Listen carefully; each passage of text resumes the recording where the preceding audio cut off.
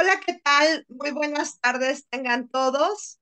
Soy la arqueóloga Ivonne Encinas y a nombre de Arqueología MX, pues lo recibo con muchísimo gusto en este curso que iniciamos el día de hoy y que tiene pues una importancia tremenda para entender la historia de México.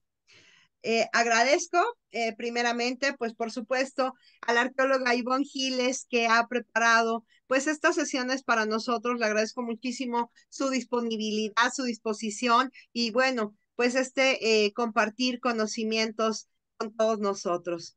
Me da muchísimo gusto también saludarlos. Gracias por utilizar nuestro chat. vamos a estarlo ocupando mucho en las sesiones por ver todos estos nombres conocidos, ¿no? Victorino Moguel, Ricardo Yam, Bail Cristina. Eh, bueno, muchísimas gracias a Yuri eh, también que están aquí escribiéndonos y saludándonos, ¿no? Gerardo, Karina Carreón, Víctor Andrade, Jorge Castrejón. Gracias a todos y cada uno de ustedes por continuar, pues en estas, en estas sesiones aprendiendo sobre este gran país que nos encanta estudiar, mostrar, recorrer, compartir y hablar de guerras de intervención, que es ahora nuestro curso, pues es ahora sí que apasionante, interesantísimo, porque nos va a permitir comprender un poquito de todo este devenir histórico, de cómo ha cambiado la nación, de todo lo que ha pasado. Y pues para ello tenemos el día de hoy y en este curso a la arqueóloga Ivonne Estela Giles Flores, a quien de verdad me da muchísimo gusto eh, recibir, no solo pues porque la conozco ya desde hace mucho tiempo atrás, sino porque pues, es una, una profesionista, una persona a quien aprecio muchísimo. Les voy a presentar a nuestra ponente. La arqueóloga Ivonne Estela Giles Flores es egresada de la Escuela Nacional de Antropología e Historia, la ENA, en la Ciudad de México, estudiante de la maestría en estudios mesoamericanos de la Facultad de Filosofía y Letras de la UNAM, la Universidad Nacional Autónoma de México. Ella obtuvo la beca de CONACYT National Geographic para la realización de tesis de licenciatura y la beca de la UNAM para la maestría.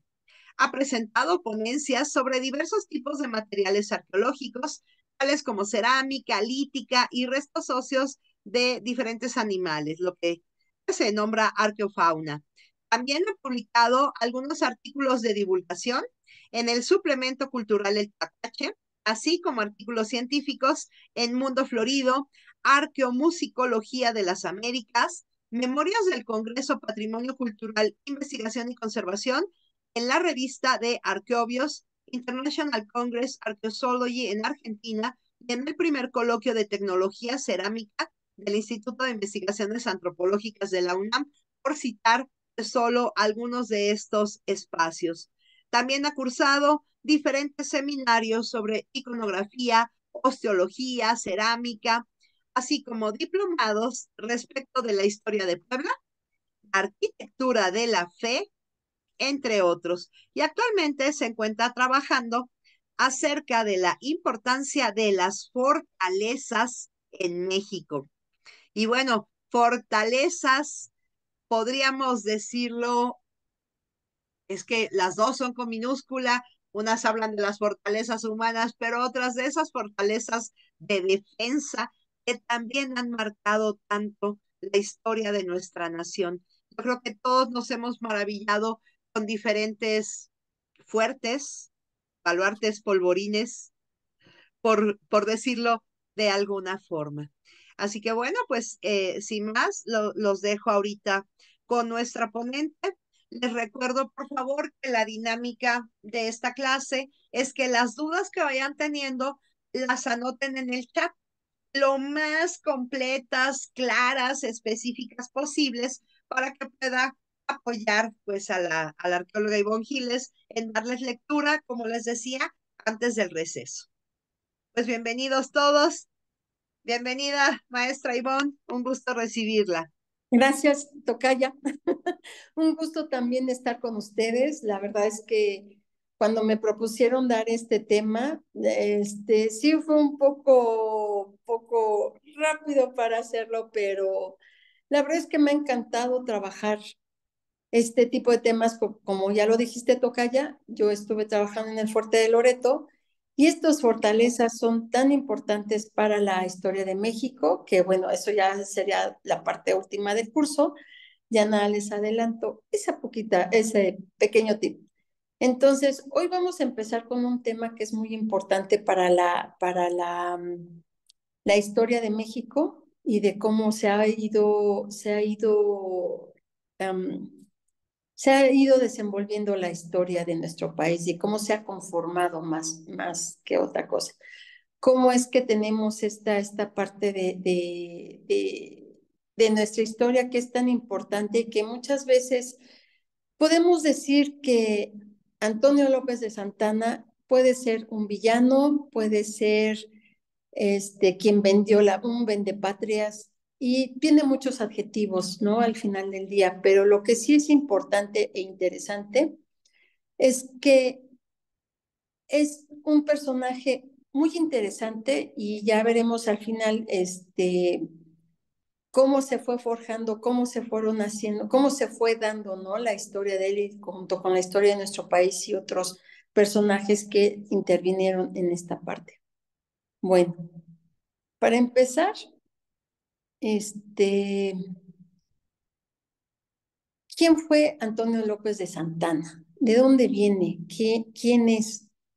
Bueno, él nació en Jalapa, en Villa de, Jalapa, Veracruz, el, un 21 de febrero de 1795, hijo de criollos veracruzanos, de, este, de una muy buena posición económica. Él inició su carrera en, la, en, en las armas, en el ejército realista. Desde muy joven él empezó a estar en el ejército y combatió a los insurgentes hasta hasta 1821 se adhirió al plan de Iguala.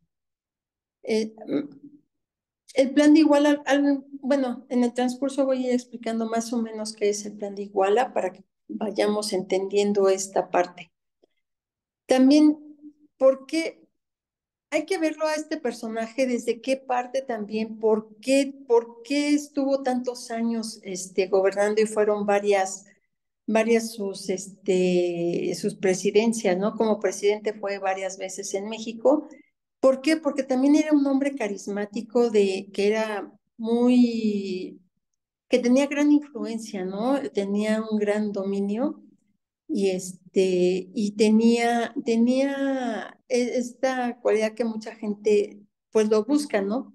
Entonces, él, él tenía como aproximadamente 25 o 27 años y es un hombre que se asoció con una gran cantidad de, de revueltas con los amigos, iban de aquí para allá. Y en este periodo de independiente, mientras México buscaba esta, esta forma de organizarse y buscó apoyo, él, él, buscó apoyo y la creación, este, y se fue con Iturbide. Entonces, él, estuvo en esta parte con Iturbide, estuvo en el ejército y se pronunció por la República en diciembre de 1922 mediante el Plan de Veracruz. También tuvo injerencia directa con las pugnas existentes entre los yorquinos y los escoceses y también los federalistas y centralistas, con todos estos grupos que eran como muy importantes para la formación de México que después este, em, fueron de gran importancia y de muchos de estos del ejército se, se formaban con estas, con estas mm, logias, podemos decir, ¿no? Bueno, también combatió en guerras extranjeras, destacando su participación en la guerra de Texas y en la guerra de, en la guerra de 1847. Este, ocupó la presidencia en seis ocasiones, por eso le decía que él saltó de una presidencia. Y vamos a ver en el transcurso cómo fueron cada uno de sus periodos, ¿no? Bueno, fueron seis ocasiones. Fue una en 1833, de 1834, 35, 39, en el 41, 42 Y la parte final, ahí sí vamos a tener un, vamos a hablar un poco más de lo que después de todo el resultado, qué es lo que hace Santana ya para el final, ¿no? Cómo, cómo se convierte el personaje, cómo se va, cómo se va convirtiendo el personaje en esta ocasión. Bueno, como les comenté, 1835 inicia una este, rebelión en Texas, quienes proclaman y proclamaban la independencia. Ya desde el 35 empezaban todas estas revueltas en México y ya se veía que iba para un México independiente, ¿no? Bueno, en 1836, Santana, al frente del ejército, um, toma el fuerte del, del Álamo, en Texas. Bueno, pero después fue derrotado y capturado por el ejército tejano al mando de Samuel Houston en la batalla de San Jacinto. Por lo tanto, Santana se vio obligado a firmar los tratados que concedían la independencia de Texas y fue puesto en libertad por el presidente. En 1836, la batalla de San Jacinto, en abril, los tejanos toman como prisionero a Antonio López de Santana, quien dirigía las tropas mexicanas. Por lo tanto, su liberación se llegó. Para poderlo liberar, llegaron a un acuerdo para que, este, para que él pudiera salir y regresar a México. Y entonces se le llama Tratado de Velasco, el cual postula la liberación de Santana si él retiraba sus tropas, además de comprometerse a no volver a invadir o, ay, perdón, a no volver a invadir o intentar agredir en el territorio tejano. Esa era una de las condiciones de este tratado de Velasco para que él pudiera salir y no estuviera entrando y saliendo, ¿no? Porque se refugiaban en México, entonces después iban para los Estados Unidos y luego ya este, regresaban y así, así andaban. Pero le dijeron, ya no puedes entrar porque ya tenemos un tratado. En el caso de que te agarremos, ya te vas a quedar acá en Estados Unidos. Y, este, y fue cuando este, establecieron los límites, ¿no? Ahí te quedas. Bueno, ya para el 37, del 37 al, al 45, regresa él al poder, pero la gente no lo apoya y eso le causa, y es en el momento en que se pierde Texas. Texas se pierde en ese momento entre el 37 y el 45 por las malas decisiones que toma él como presidente. Entonces la gente, entonces la gente ya no creía en él, ¿no? Ya decían, no, ¿para qué lo queremos aquí si está, pues, pues vendió, vendió la, la, el país, tierra, y entonces en, ese, en, esta, en esta ocasión, Estados Unidos quieren que pongan límites y uno de los límites que ponen, que es, un, es el río, el río Bravo, ¿no? Donde ahí ponen los, los límites para, para que la gente decida dónde quedarse, si se quedaban de un lado del río o del otro. Mucha gente regresa a México, pero mucha gente también se queda en, en esta parte de Texas. Entonces, ahí es cuando, cuando este, Santana logra bueno, no logra, más bien la gente ya no lo quiere y mucha gente ya no regresa y por eso hay tantos, este, pues tantos mexicanos se quedaron en esta parte del río, bueno, hacia Estados Unidos. Este, posteriormente, em, ya para 1837 y en 1845, regresa al poder, pero la gente, como les comentaba, no lo apoya, ya se hace un relajo y ya suelta otra vez el poder. Pero en 1900, hay un suceso bien interesante también en esta época, entre 37 y 45, que es la guerra de los pasteles. Esta guerra en donde los franceses quieren invadir, quieren, este, más bien pelean que les paguen, ¿no? Porque México otra vez entra en crisis, no les quieren pagar, no están, este, no los, no los, um, sí, exactamente, no les quieren pagar y entonces los franceses hacen una revuelta y le llaman la guerra de los pasteles. Bueno, ya para el 39, es, otra vez este Santana es nombrado presidente. Dice, pero, pero en esta parte solamente estuvo cuatro meses, no estuvo más tiempo por, por lo mismo, porque la gente ya no creía, los extranjeros querían venir a invadir, la, había una crisis muy grande en el país.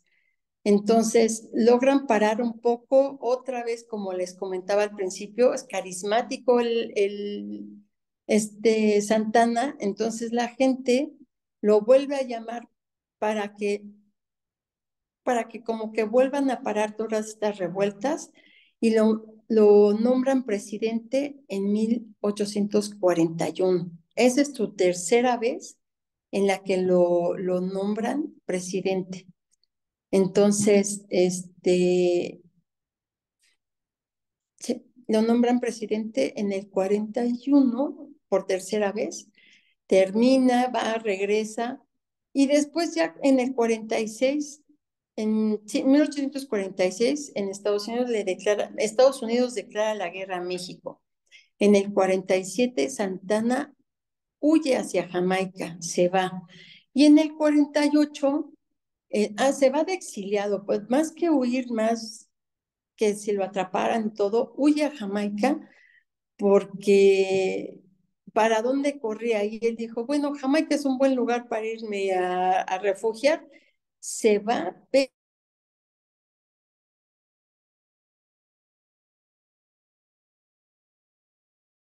se va ese tiempo. Pero vamos a ver más adelante qué es lo que pasa con eso. Ya saben que en la historia brincamos de un año a otro, es un poco complicado hacer como el concentrado de un año porque brincamos de un año a otro. Así es de que este, eso es parte de lo que tenemos de nuestra historia que es súper amplia, ¿no?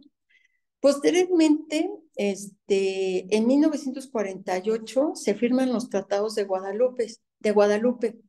El Tratado de Guadalupe Hidalgo trajo un fin oficial a la Guerra de México, México-Americana, que es en el 46 y el 48.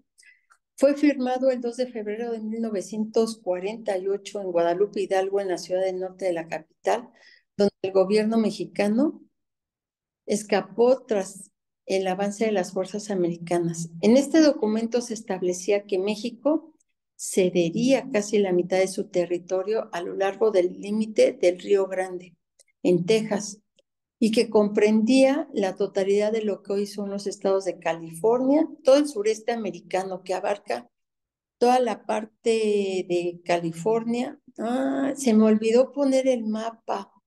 Disculpen, se los debo, pero en la siguiente clase se los pongo, se los juro. Este, eh, ahorita lo, ahorita lo busco, ¿cómo qué mapa busco? Y ahorita yo te lo pongo. Ah, perfecto, gracias, Tocaya. Este, y entonces toda la parte del sureste. nada más, eh, dime que, eh, qué mapa, perdón. Ay, no recuerdo. No, pero es este el territorio que búscalo así como cuando pierdes territorio de, de, México. Ya, muy bien, ahora lo busco. Gracias, Toque.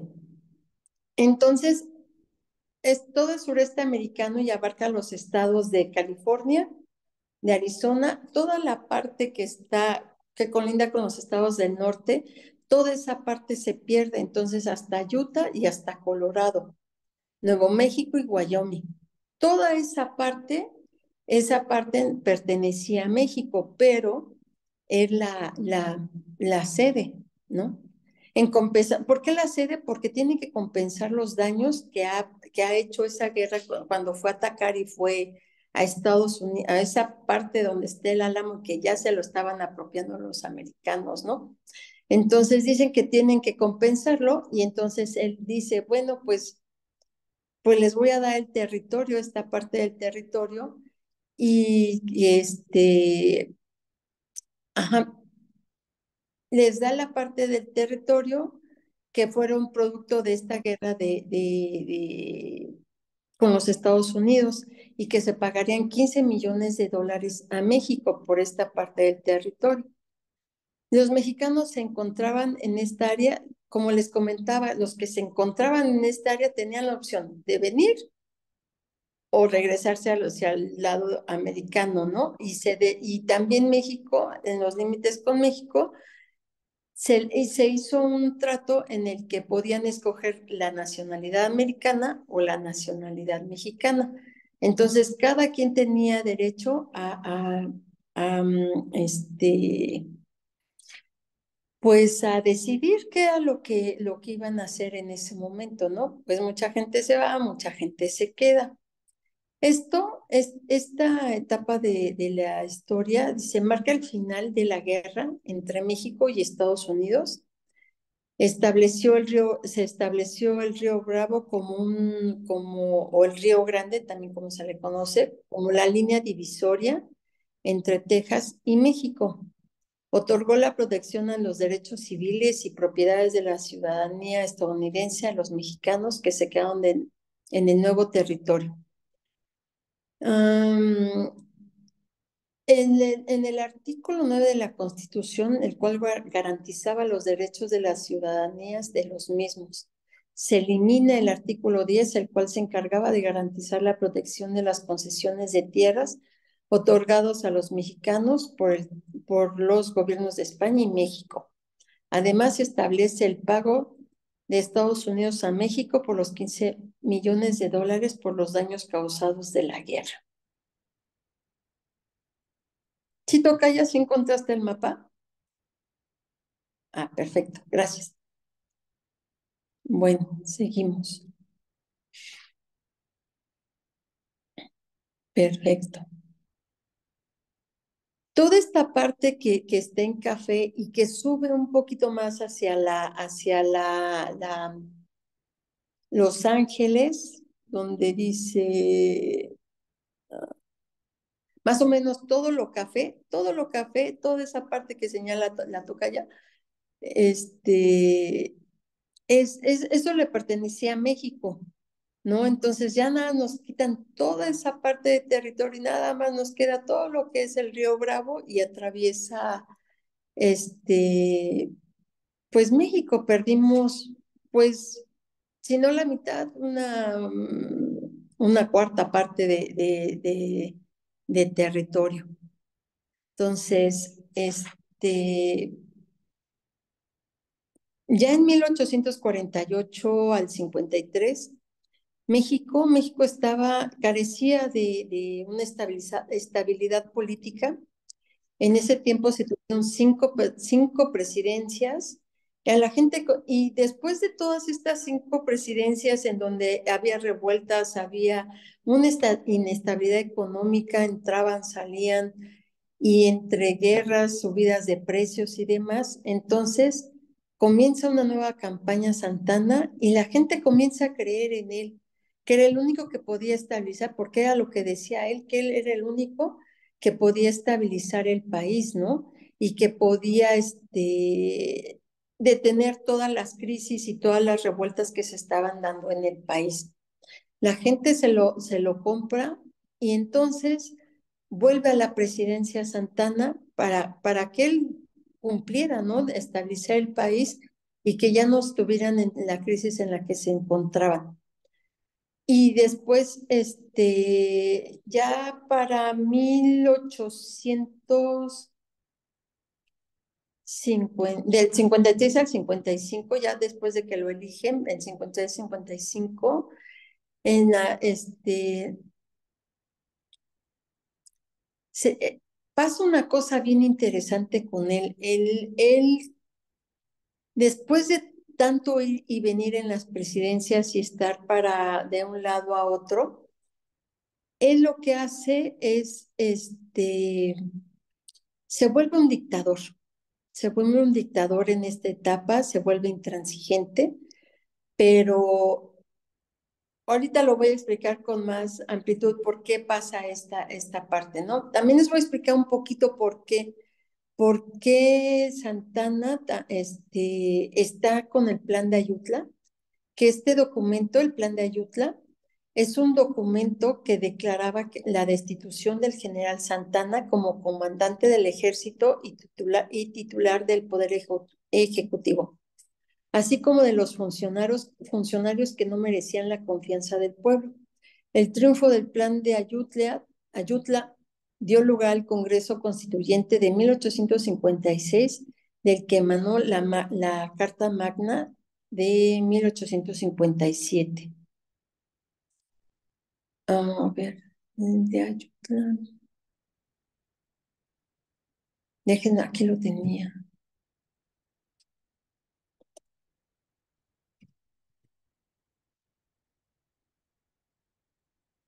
Bueno. Este, el... Con mucho gusto, si me vas indicando alguna otra imagen, alguna imagen del álamo, lo que sea, me vas indicando y con todo gusto las voy eh, Ah, perfecto. Perfecto, perfecto. Nada, déjame. Esta parte del plan de Ayutla, es que les quería leer una partecita que viene del plan de Ayutla, que es interesante porque es, este, impulsa, es la parte en donde se impulsa la revolución que da fin a la dictadura, ¿no? Finalmente de, de, Santana, y que convoca al constituyente de 1857 en México. Y entonces e, este, este tratado, lo que, lo que, lo importante de él es que es, se crea por el descontento popular, porque la gente ya estaba cansada, como les comentaba, iban, venían presidencias por un lado, Santana por el otro lado, y entonces había una, las crisis económicas de nuestro país son impresionantes, ¿no? La gente del campo, el campo abandonado, sin, una, sin producción. Entonces, eso es lo que la economía, la depresión de la economía que, que, que termina por encarecer los productos básicos y que la gente se enoja y entonces es cuando empiezan las revueltas. Y entonces por eso se crea el plan de Ayutla, ¿no? porque al estar enojada la gente, este, actúan las fuerzas liberales para combatir al dictador, que ya se vuelve un dictador en esta, en esta época Santana. Así es de que en 1854, Lorenzo Villarreal, joven militar, se congregó con Juan, Juan N. Álvarez, el destacado guerrillero de la independencia de México, junto con Ignacio de Comonfort, antiguo aliado de Santana, cuando éste luchaba por la causa republicana de la década de los 30. Comonfort modificó el plan el 10 de marzo de 1854, respaldando, respaldando desde ese momento y dividido en dos el país. El documento solicitaba la destitución de Santana y señalaba principalmente lo siguiente. La primera parte, en ella se expusieron las causas del levantamiento mencionadas previamente estas, y estas resumían tres puntos. La figura de Santana como permanente amenaza de la democracia, las graves pérdidas territoriales para México durante las distintas épocas de su gobierno, con su saldo económico y su falta de garantías civiles y políticas, pues Santana tomaba decisiones de manera unilateral. La segunda parte, se establecieron los compromisos y propuestas de los firmantes. La principal era la entrega inmediata del poder por parte de Santana, pero no era menos relevante el compromiso a llevar la lucha hasta las últimas consecuencias o hasta la muerte. Y el planteamiento de una transformación de la dictadura hacia el sistema republicano, ah, con un plazo de 15 días para establecer un nuevo gobierno capaz de avanzar en este sentido. A este plan se adhirieron la mayor parte de las poblaciones en el sur de México, principalmente Guerrero, siendo secundado poco después por los de Michoacán, que son de estos estados que siempre, que hasta la fecha siguen en, pugna, ¿no? Así siempre ha habido mucha batalla estos dos estados, y no es la excepción, ya desde estas épocas ellos empezaron a, pelear, y al ser adoptado el plan, el general el general en jefe convocó a, un representante por cada estado y territorio, quienes elegirían al nuevo presidente interino. Poco después de un año la lucha, el plan triunfó y prevaleció el interés del pueblo de organizar el país como una nación libre, autónoma, independiente bajo el régimen soberano. Entonces, ¿qué pasa en este momento? El Santana ya en sus últimos años, este, se vuelve un dictador, un dictador impresionante. Como les acabo de comentar, no hay garantías. A él no le interesaba que nadie lo mandara, que nadie le dijera nada. Entonces, él, él hacía lo que quería, ¿no? Estaba, este, pues como, como escucharon, la, la economía se va al suelo. Entonces la gente dice, tenemos que buscar la manera de quitarlo porque pues ya un dictador en el país no es posible. Entonces se dice, ¿no? Que este, esto ya es para la última parte de su periodo. La, primera parte, las otras partes, las otras presidencias son relevantes, pero bueno, sobre todo es relevante por la pérdida del territorio, pero la última parte de Santana es una parte muy importante porque es donde se crea todo este, este dictador. Y ahorita vamos a ver por qué es un dictador. Bueno, entonces, Santana accedió a su último mandato por una expresa invitación de sus paisanos y no mediante un golpe, ¿no? Entonces, tampoco se hizo, este, se hizo pues legítimamente, ¿no?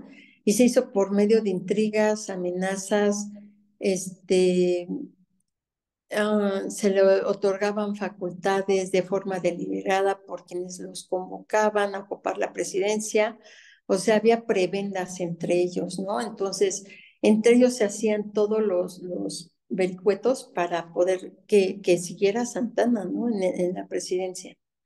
Entonces, para entender esta situación es, es, es analizar los, sus antecedentes y el contexto en el que se produce ya, pero ya como dictador, ¿no? Entonces, en esto, en el, en el, él, ah, ya en esta, en esta época del 48, ya estamos en el 48, ya en la parte, como la parte final y media de su mandato, ya este, cuando él ya, este, ya se fue el territorio, ya, ya perdimos parte del territorio, ya está la República Mexicana conformada como la conocemos hoy, este, el cual es un golpe durísimo para México, ¿no? Porque finalmente ya se dan cuenta que sí se perdió el territorio y que de ninguna manera se iba a recuperar.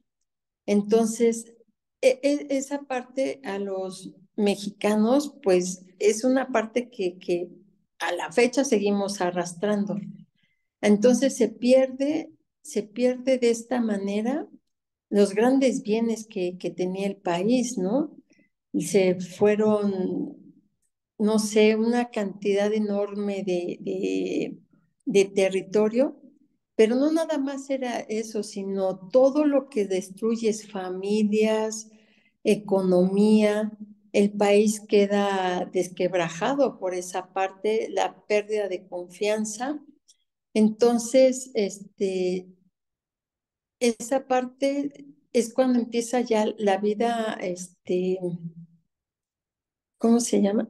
pero empieza, empieza pues a tratar de, de, México empezar a buscar y a buscar una, una, una manera de cómo, cómo resarcir ese daño, ¿no? Entonces, al buscar las explicaciones de la derrota militar, se concluye que había, que todo lo que había hecho Santana, este, faltaba, faltaba unidad nacional frente a este conflicto y que, y como lo denuncia este personaje que se llama Mariano Otero, dice, no, no hay ni ha podido haber eso que se llama espíritu nacional, porque no hay nación. Entonces lo que se trata ya en esa época es de tratar de formar una nación, de, de que la, este, de que ya conformar, ya para que se acabe todo este, este problema que existió de, de la pérdida del, del territorio. Así es de que resultó claro que era necesario trabajar para constituir esta nación y esta identidad en torno a estas batallas que tenía el país. Crear las instituciones, sobre todo eso, crear instituciones que proporcionaran a sus habitantes la seguridad y el progreso que tanto anhelaban. No obstante, la tarea de se, pues era grandísima esa tarea, ¿no? Para poder lograr. Y pues que mucha gente creía que era imposible, pero decían que si había unidad entre, en, en el país, podían lograr. Así es de que a lo largo, a lo largo del tiempo y de esta, de esta parte de la historia de México, este, y de formar las estructuras políticas y sociales, este, sobre todo para hacer esta, esta estructura, para que sea, para ir formando el Estado, ¿no? Que provocaran que esta, es, esto no volviera a pasar y que ya empezaran a, a tener leyes y, y este, y que se siguiera la constitución finalmente, que no se salieran de, de, lo que ya se había logrado. Así es de que esto, esto, al tratar de hacer todo esto, provocan una, una violenta reacción, ¿no?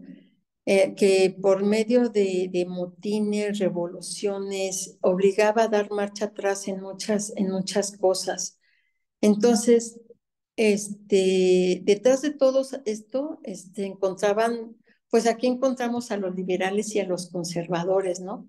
Quienes eran enemigos de toda, de toda reforma que alteraban el esquema, bueno, pero los conservadores eran enemigos de todas estas reformas que alteraran el esquema político, que sustentado en los privilegios de la iglesia y del ejército. Ellos sumaban grandes, los grandes comerciantes, los agiotistas, y todo que tenían amagado al país, ¿no? Entonces, los liberales querían quitar esa parte, pero los, los conservadores no los dejaban. Entonces, este, los conservadores tenían grandes ganancias con el contrabando, la especulación, con todos los contratos, con todo lo que hacían con, pues, con el gobierno, ¿eh? y que esto, esto pues en lugar de ayudar al país, pues lo tenía sumido en una crisis económica y una falta de derechos pues impresionante.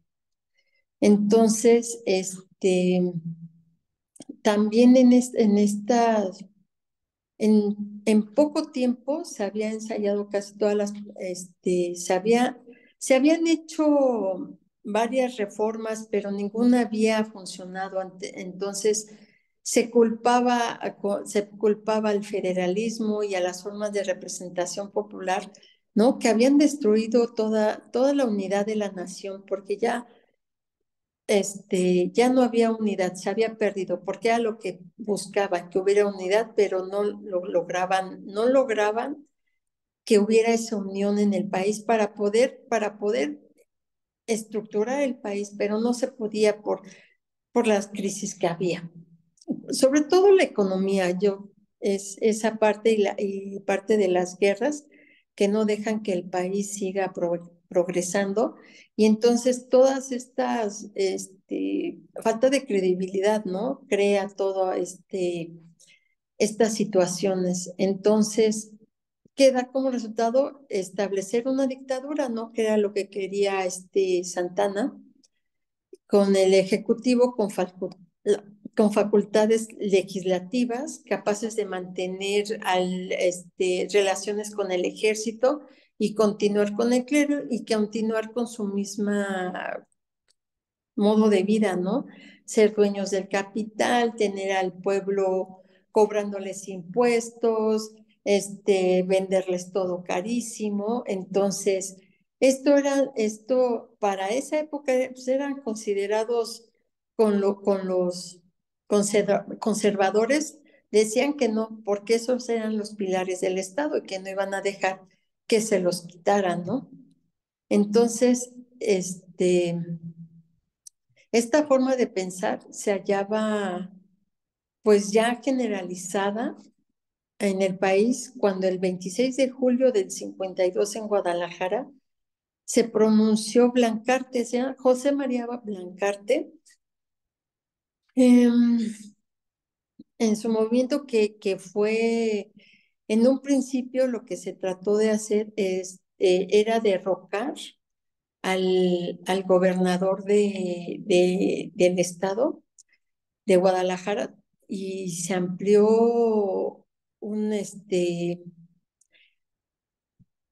trataron de derrocar al gobierno y entonces procuraron que el presidente Mariano Arista se uniera para poder este, llegar a, buen término esta, este, este, golpe de Estado.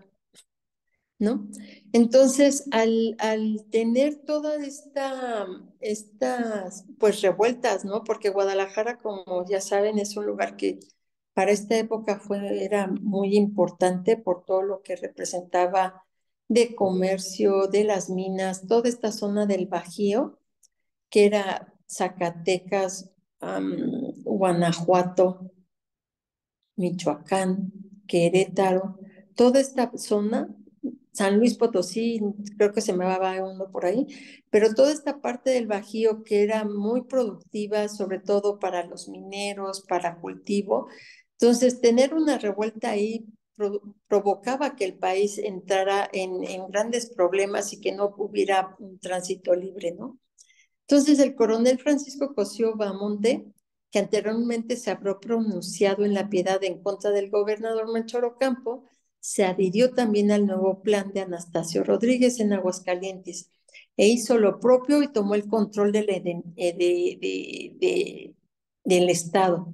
Fue proclamado por Carlos Sánchez Navarro en su plan de Guadalajara el 13 de septiembre, que incluía en el artículo 8, que en el artículo 8 de la Constitución se incluía la nación invita al general Antonio López de Santana para que regrese al territorio, para que regrese al territorio de la República, más bien para que regresara al territorio, ¿no? Para que coopere al sostenimiento del sistema federal y al restablecimiento del orden y la paz. Pero ¿qué pasa? Pues que no. Este plan de Guadalajara fue modificado el 20 de octubre eh, y, este, y en esta parte este, se hace una, una reunión extraordinaria en el Congreso para poder hacer esta modificación. Pero esta, esta modificación eh, se le llamó plan de, del hospicio, la rebelión que hasta ese momento se había traspasado los límites regionales, se, se, se convirtió en una auténtica revolución nacional. Entonces, de un pequeño este, planteamiento vamos, este, ya todo el país se había puesto, pues ya estaba en revuelta, ¿no? Ya estaba muy enojado, ya querían sacar al, dictador, pero no podían. Entonces, para combatir, este, el presidente Arista, a través del, del ministro de de Hacienda de, Guillermo Prieto pidió al Congreso la autorización para contratar un préstamo por 3 millones de pesos y aumentar todas las contribuciones directas a un 50%. Imagínense, el 50% de, de lo que se estaba pidiendo del préstamo. Entonces estaban endeudando al país a pasos agigantados. Entonces, el, el poder legislativo se hizo de oídos sordos, ¿no? Entonces no dejaba que las demandas se, no, no dejaban este, pues que el país prosperara, ¿no? Al contrario, lo estaban este, endeudando de una manera impresionante. Entonces, este, el poder legislativo se hizo, se de oídos sordos y la demanda económica y se niega, y se niega que se le otorguen facultades extraordinarias al Ejecutivo para que hiciera esto, ¿no? Este, así de que en ese momento le atan las manos y, y, ya no puede hacer nada. Entonces, Arista, ¿qué hace? Presenta su renuncia. Lo sucedido en el cargo de, este, em, en esta parte el, el, jurista Juan Bautista Ceballos, que, que no duró mucho en, este, en, en, en el Ejecutivo porque este, era, era una parte en la que él no veía que sus esfuerzos tuvieran, que se pudieran, tuvieran este, fueran fructíferos.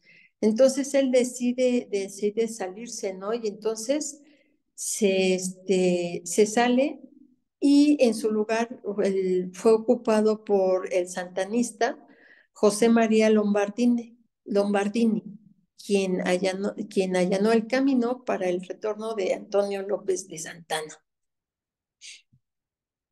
Entonces, ¿qué, es este? Entonces van abriendo camino, ¿no? En vez de ir, este, que las reformas fueran, se fueran, este, fueran sucediendo, se fueran aplicando, se ven otra vez en la necesidad, ¿no?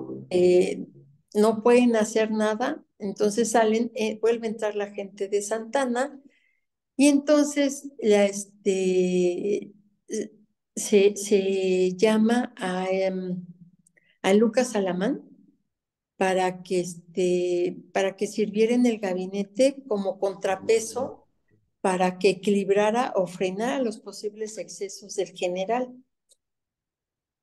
Por lo que, pues, de, no, no, no podía, bueno, él era como mediador, ¿no? En esta parte y, y en, el, en, la cámara, en la Cámara de Representantes, un Consejo de Estado vigilaría la actuación del presidente y le proporcionaría la asesoría necesaria para ejercer el, un gobierno eficiente y que acorde a las, a las auténticas necesidades del país. Bueno, entonces, en abril, Santana, el primero de abril, um, sí, el primero de abril, Santana desembarca, este, más bien desembarcó del paquete inglés, paquete, del barco inglés, perdón, que lo había trasladado a Veracruz desde su exilio en Sudamérica. Era más que e-, era, pues fue bien recibido, ¿no? Por las autoridades del puerto y por las, las comisiones de varios estados de la República. Entonces, este, em, después llega a la Ciudad de México, uno, como un mes después, él llega en abril, en el, en el 53, al puerto de Veracruz, un, casi un mes después, este, llega a la Ciudad de México y fue, este, pues otra vez fue nombrado presidente, investido con la banda presidencial y conforme lo acordado, lo que había gestionado, este, Lucas Alamán, que era el ministro de Relaciones Exteriores. exteriores. No, sí, sí, era ministro de Relaciones pues sí, lo que sería hoy relaciones exteriores. Este, puesto que equivalía a, nombrarlo como primer ministro de su gobierno. También formaron parte de su gabinete. Ya cuando regresa vuelve a formar, bueno, tiene que formar un gabinete y está Teodosio Olares, Manuel Díez de Bonilla, Antonio Aro de Tamariz, Joaquín Velázquez de León y José María Tornel. Pese a encontrarse muy quebrantado de su salud, Santana, tan solo dos días después de haber tomado la posesión, el ministro Alamán, Lucas Alamán, este, presentó las bases para la administración de la República, documento que regiría mientras em, fuera expedida una nueva constitución. También fundó el Ministerio de Fomento, Colonización, Industria y Comercio, así como el Consejo de Estado compuesto por 21 individuos, dividido en cinco secciones, que correspondería a cada una de las secretarías de Estado. Reorganizó el cuerpo diplomático, creó la figura del Procurador General de la Nación y dispuso que fueran separados del ejército mexicano los militares que en la guerra del 47 se constituyeron como, este, como prisioneros voluntarios este, cuando estuvieron en la batalla con los Estados Unidos. La muerte de Lucas Alamán este también es un personaje interesante porque pues él, él reestructuró lo que les acabo de comentar que hizo la Secretaría, formó secretarías, el cuerpo diplomático. Entonces, él, él hizo que, el gobierno se, reestructurara, ¿no?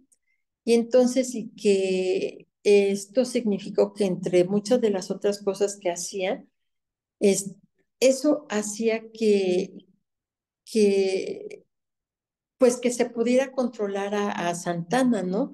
Quien a falta de, de, un verdadero ideólogo comenzó a implantar en México su particular visión de pensamiento conservador convertido en, en, un, en un ridículo proyecto de político que, que, se había que, que querían desarrollar, ¿no? él, pues mientras estaba Lucas Alamán tratando de, de, estructurar el país, Santana pues le ponía el pie a su mismo gobierno, ¿no? Bueno, y entonces muere Lucas Alamán, entonces este proyecto pues pues es un proyecto que, que pues no, no, no logró hacer mucho, pero en teoría las facultades extraordinarias de Santana deberían de, deberían de, ¿no? De, de, continuar, pero este no lo hace, entonces este, hace un pronunciamiento en, en Guadalajara. Este, a ver, ya me lo volví. Espérenme. Mm.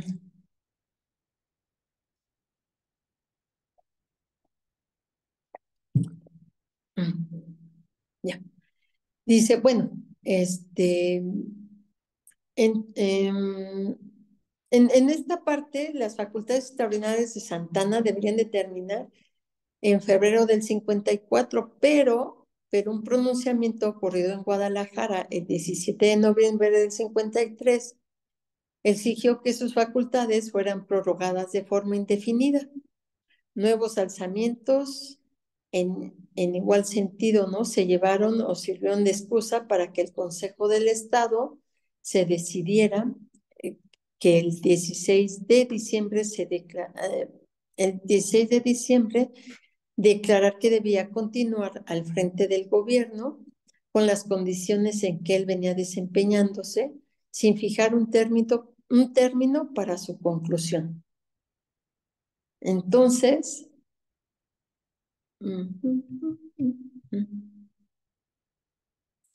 este,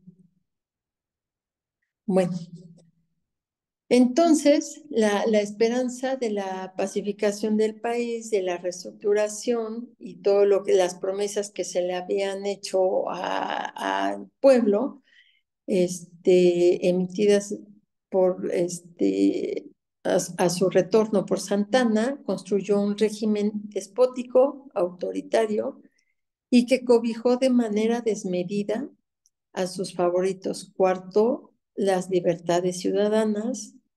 Se rodeó de un, de un, este, de un, em, ¿cómo se llama? De gente, pues, europea.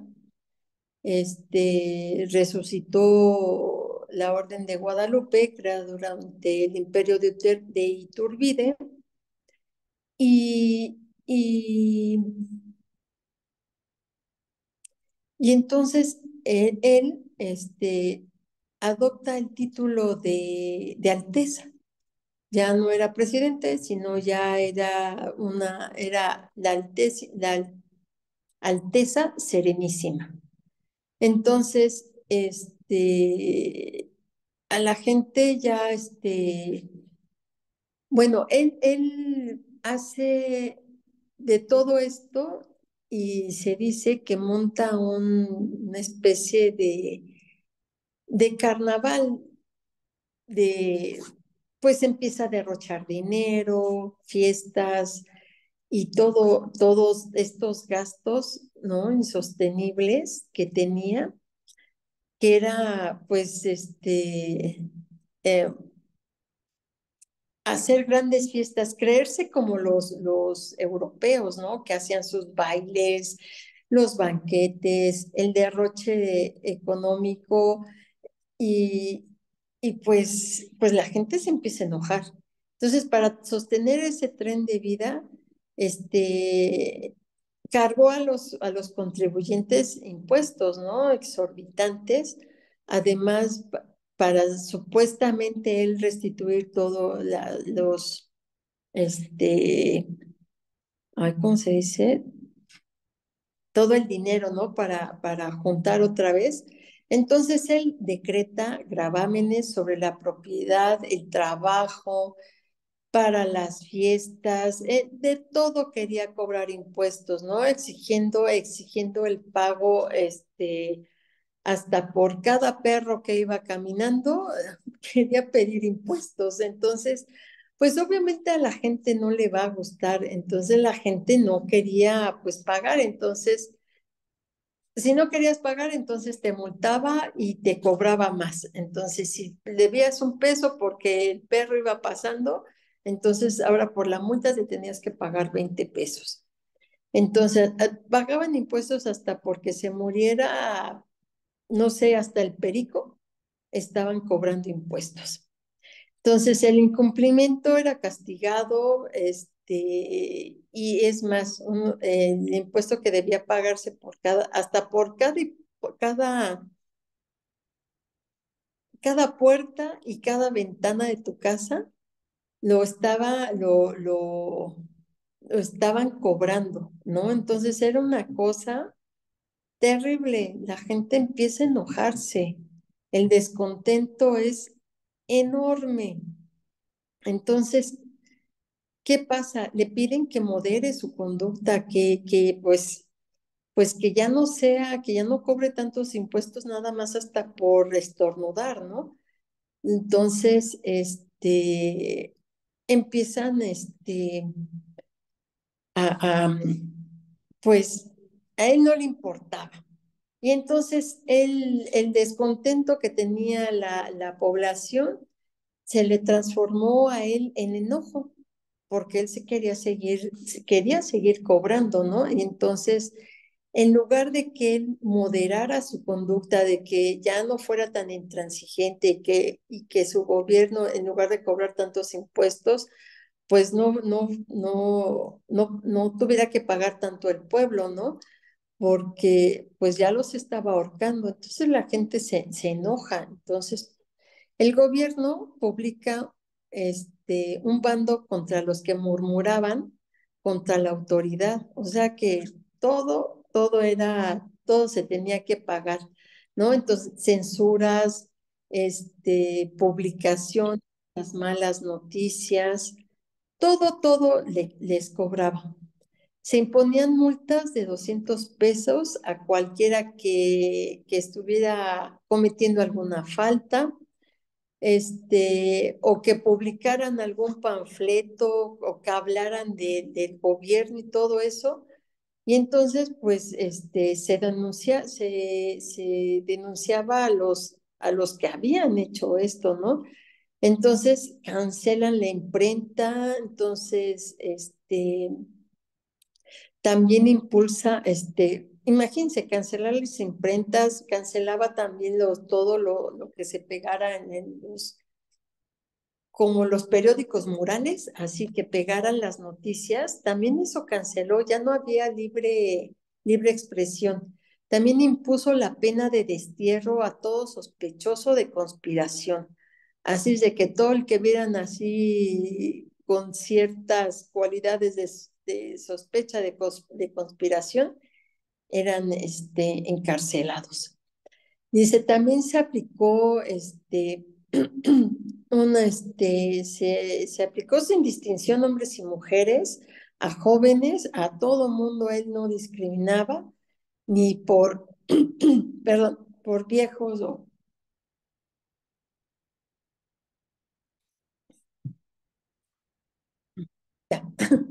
Este, a él no le importaba, o sea, él tenía que, que, que llenar su gobierno de dinero para que le mantuvieran todos sus, sus fiestas, sus banquetes y viajes y demás, ¿no? Entonces, este, mm, él decía a todo mundo y todo mundo tenía que acatar sus órdenes.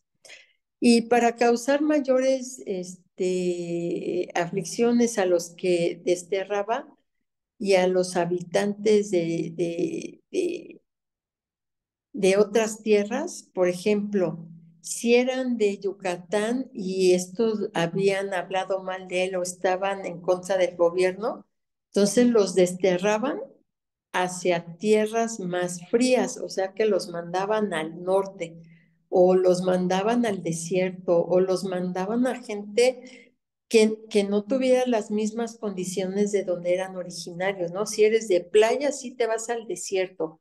Si eres de, del país, pero te vas a la playa ahí para que te mueras de calor o para que te mueras de, de, de, de sed, ¿no? Entonces, es, este tipo de cosas, pues hizo que hubiera un movimiento poblacional impresionante, pero que la gente se, se, se molestara porque los estaban sacando del lugar de origen, ¿no?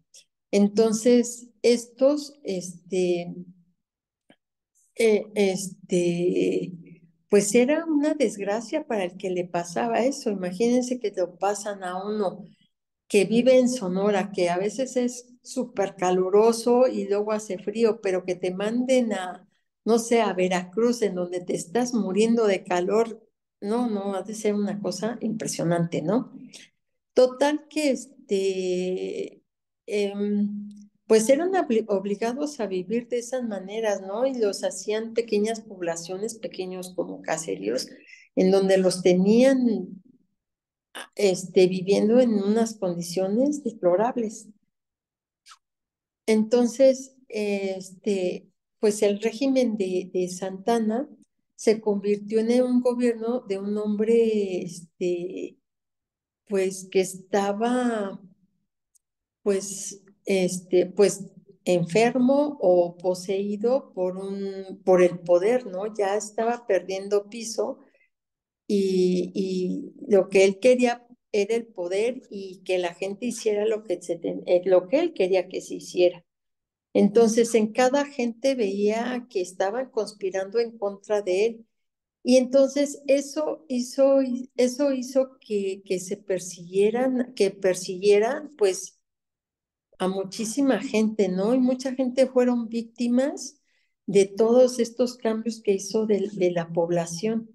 Entonces, a mucha gente que, que cambió de lugar y que los desterraron, este, pues imagínense, tienen que empezar pues a enojarse y a buscar cómo, cómo, o cómo regresar a su lugar de origen o empezar a pelear, empezar a pelear para poder sacar a este, pues a su alteza, ¿no? Porque era su alteza, como él se hacía llamar, para que lo sacaran. Entonces, este, fueron víctimas de, este, de este destierro. Eran, este, pues los liberales, ¿no? Finalmente, que son los que están peleando para que no hubiera estas injusticias.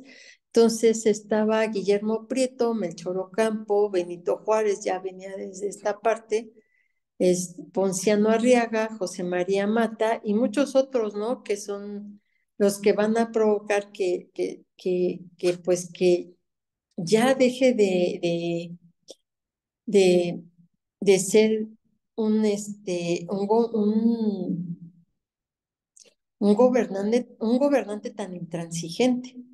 Entonces, este, Aparte de todo esto, dicen, para colmar el vaso, el descontento de su Alteza Serenísima, el general presidente este, firmó con Estados Unidos el tratado del cual México sería el territorio de la Mesilla a cambio de 10 millones de pesos. En total se perdieron uh, 339.370 hectáreas, hectáreas pertenecientes a los estados de Sonora y Coahuila. Entonces, ¿Qué sigue ocurriendo? Se, se continúa perdiendo territorio. Entonces, el, en, en marzo del 54, el coronel Florencio Villarreal, de acuerdo con Juan Álvarez, promulga en la Hacienda de la Providencia, de la Providencia el plan de Ayutla, que fue reformado el 11 de, de ese mismo año, en el 54, perdón, fue reformado, este, reformado, mmm, ah, si quieres la siguiente, estaba bien. Este, fue, esta, esta está muy bonita. Es una foto muy bonita de él cuando está en, este, bueno, eh, si no se me olvida. Este, fue reformado el día 11 en Acapulco por Ignacio Comonfort, el plan de Ayutla. La revolución encabezada por Álvarez, caudillo de la independencia, estalla el primero de mayo. Tratando de demostrar la legitimidad de su gobierno y la pluralidad de su persona, don Antonio convoca este, a la celebración de un plebiscito en el que la población decidiría si debía continuar al frente de la presidencia. La consulta se llevó a cabo el 1 de diciembre del 54. Los resultados fueron dados a conocer por el periódico El Universal, conservador que se había caracterizado por su, porque era este, pues era parte de ellos, ¿no? Los adulaban, este, no escribían notas malas. Entonces, ellos publican esta nota y dicen, de acuerdo al diario, 400.335.520 personas se manifestaron por la permanencia de Santana en el poder y únicamente una despreciable cantidad de 4.075 personas se pronunciaron en contra. Entonces, este, la, la publicación del, diario de, del Universal este, narró así el entusiasmo al conocer el resultado del plebiscito. Dice, ayer fue un día de júbilo para esta capital. El comercio se cerró a las 12, se pusieron colgaduras en los balcones y por la noche hubo una iluminación general. El pueblo ha celebrado con entusiasmo un suceso que asegura la continuación del orden y fortifica la esperanza de sosiego y de bienestar de todos, ciframos en su alteza, alteza el presidente. Bueno, pero el panorama ya que hay en este momento, no se presentaba como algo, este, pues dibujado, ¿no? La revolución se extendía y sus triunfos cada, más, cada vez más, más frecuentes minaban los cimientos de la dictadura, pese a que, a que sus voceros se afanaron en desmentir los rumores eh, de su inminente renuncia, de que este, de que ya estaba a punto de irse y no se iba, entonces, pues la gente, este, pues todo mundo empieza así como de, de, de ¿cómo se llama? Este, pues de, de molestarse. Pero pese a que sus voceros, o sea, los, el periódico, se afanaba por desmentir todos los rumores y todo de que se iba y que no sé cuánto, entonces, este, y de que ya iba a renunciar, entonces el, en agosto, el 9 de agosto, por la madrugada, salió Santana de la capital casi escondiéndose entre las, este, entre la noche. Eh, y se dijo oficialmente que viajaba a Veracruz para encargarse en persona de restablecer el orden alterado por pequeños disturbios en aquel departamento. Ese mismo día fue publicado un decreto que establecía que en caso de necesidad, este, este, em, que en caso de, inestabilidad y de necesidad, inestabilidad, y que si hubiera necesidad, este, el, ay, se me fue la idea, perdón. Este, el licenciado Ignacio Pavón y los generales Mariano Salas y Martín Carrera este, sucederían al dictador, ¿no? Dice, y como si suplentes fueron señalados los generales Rómulo Díaz de la Vega, Ignacio Mora y Villamil. Como suplentes fueron señalados, ay, perdón, este, se convocó a la nación para que se constituyese según la voluntad. Los habitantes de la Ciudad de México se dieron cuenta de que habían sido abandonados a su suerte. Sin embargo, las cosas permanecieron en aparente calma por algunos días. Pero el día 13 de agosto, por la mañana, en la Alameda comenzó a reunirse un grupo de personas que pronto alcanzó este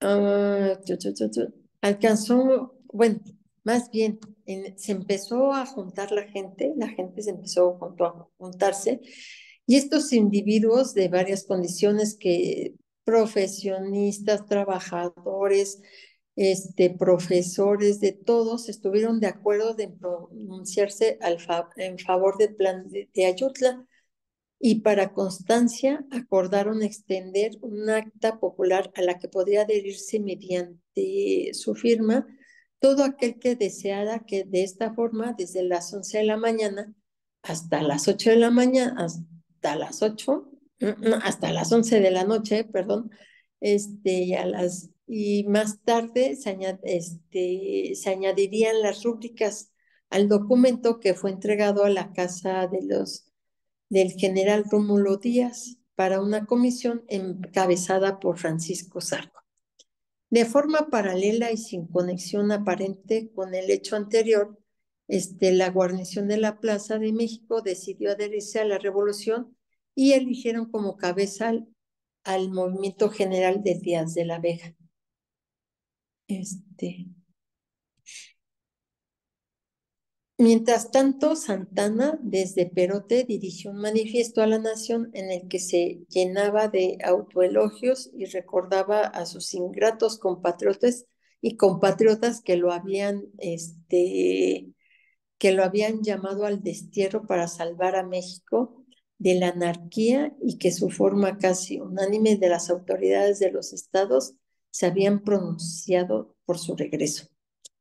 Este, ¿Quieres que paremos ahí? ¿Vamos por preguntas? Sí, yo creo que sí. Me gustaría muchísimo, bueno, primero que nada, hacer una recapitulación de dónde vamos, cómo estamos iniciando, pues ahorita con eh, Antonio López de, Santana, esta, esta figura, esta leyenda negra, esta alteza serenísima, este hijo de criollos que se forma en el ejército realista, que combatió a los insurgentes y que bueno, va a ser una figura clave en la historia de México a lo largo de casi medio siglo, estamos hablando pues de muchísimos años en el cual tiene esta presidencia en, en seis ocasiones, en el cual se van a perder casi dos millones y medio de, de, territorio, que por ahí hay una pregunta, ahorita miré a las, a las preguntas después de pues esta pequeña recapitulación, y, y que bueno, pues saltan a la vista escenarios donde pues este, este hombre militar como ninguno a lo largo de 38 años participó en una cantidad impactante de, de, de batallas.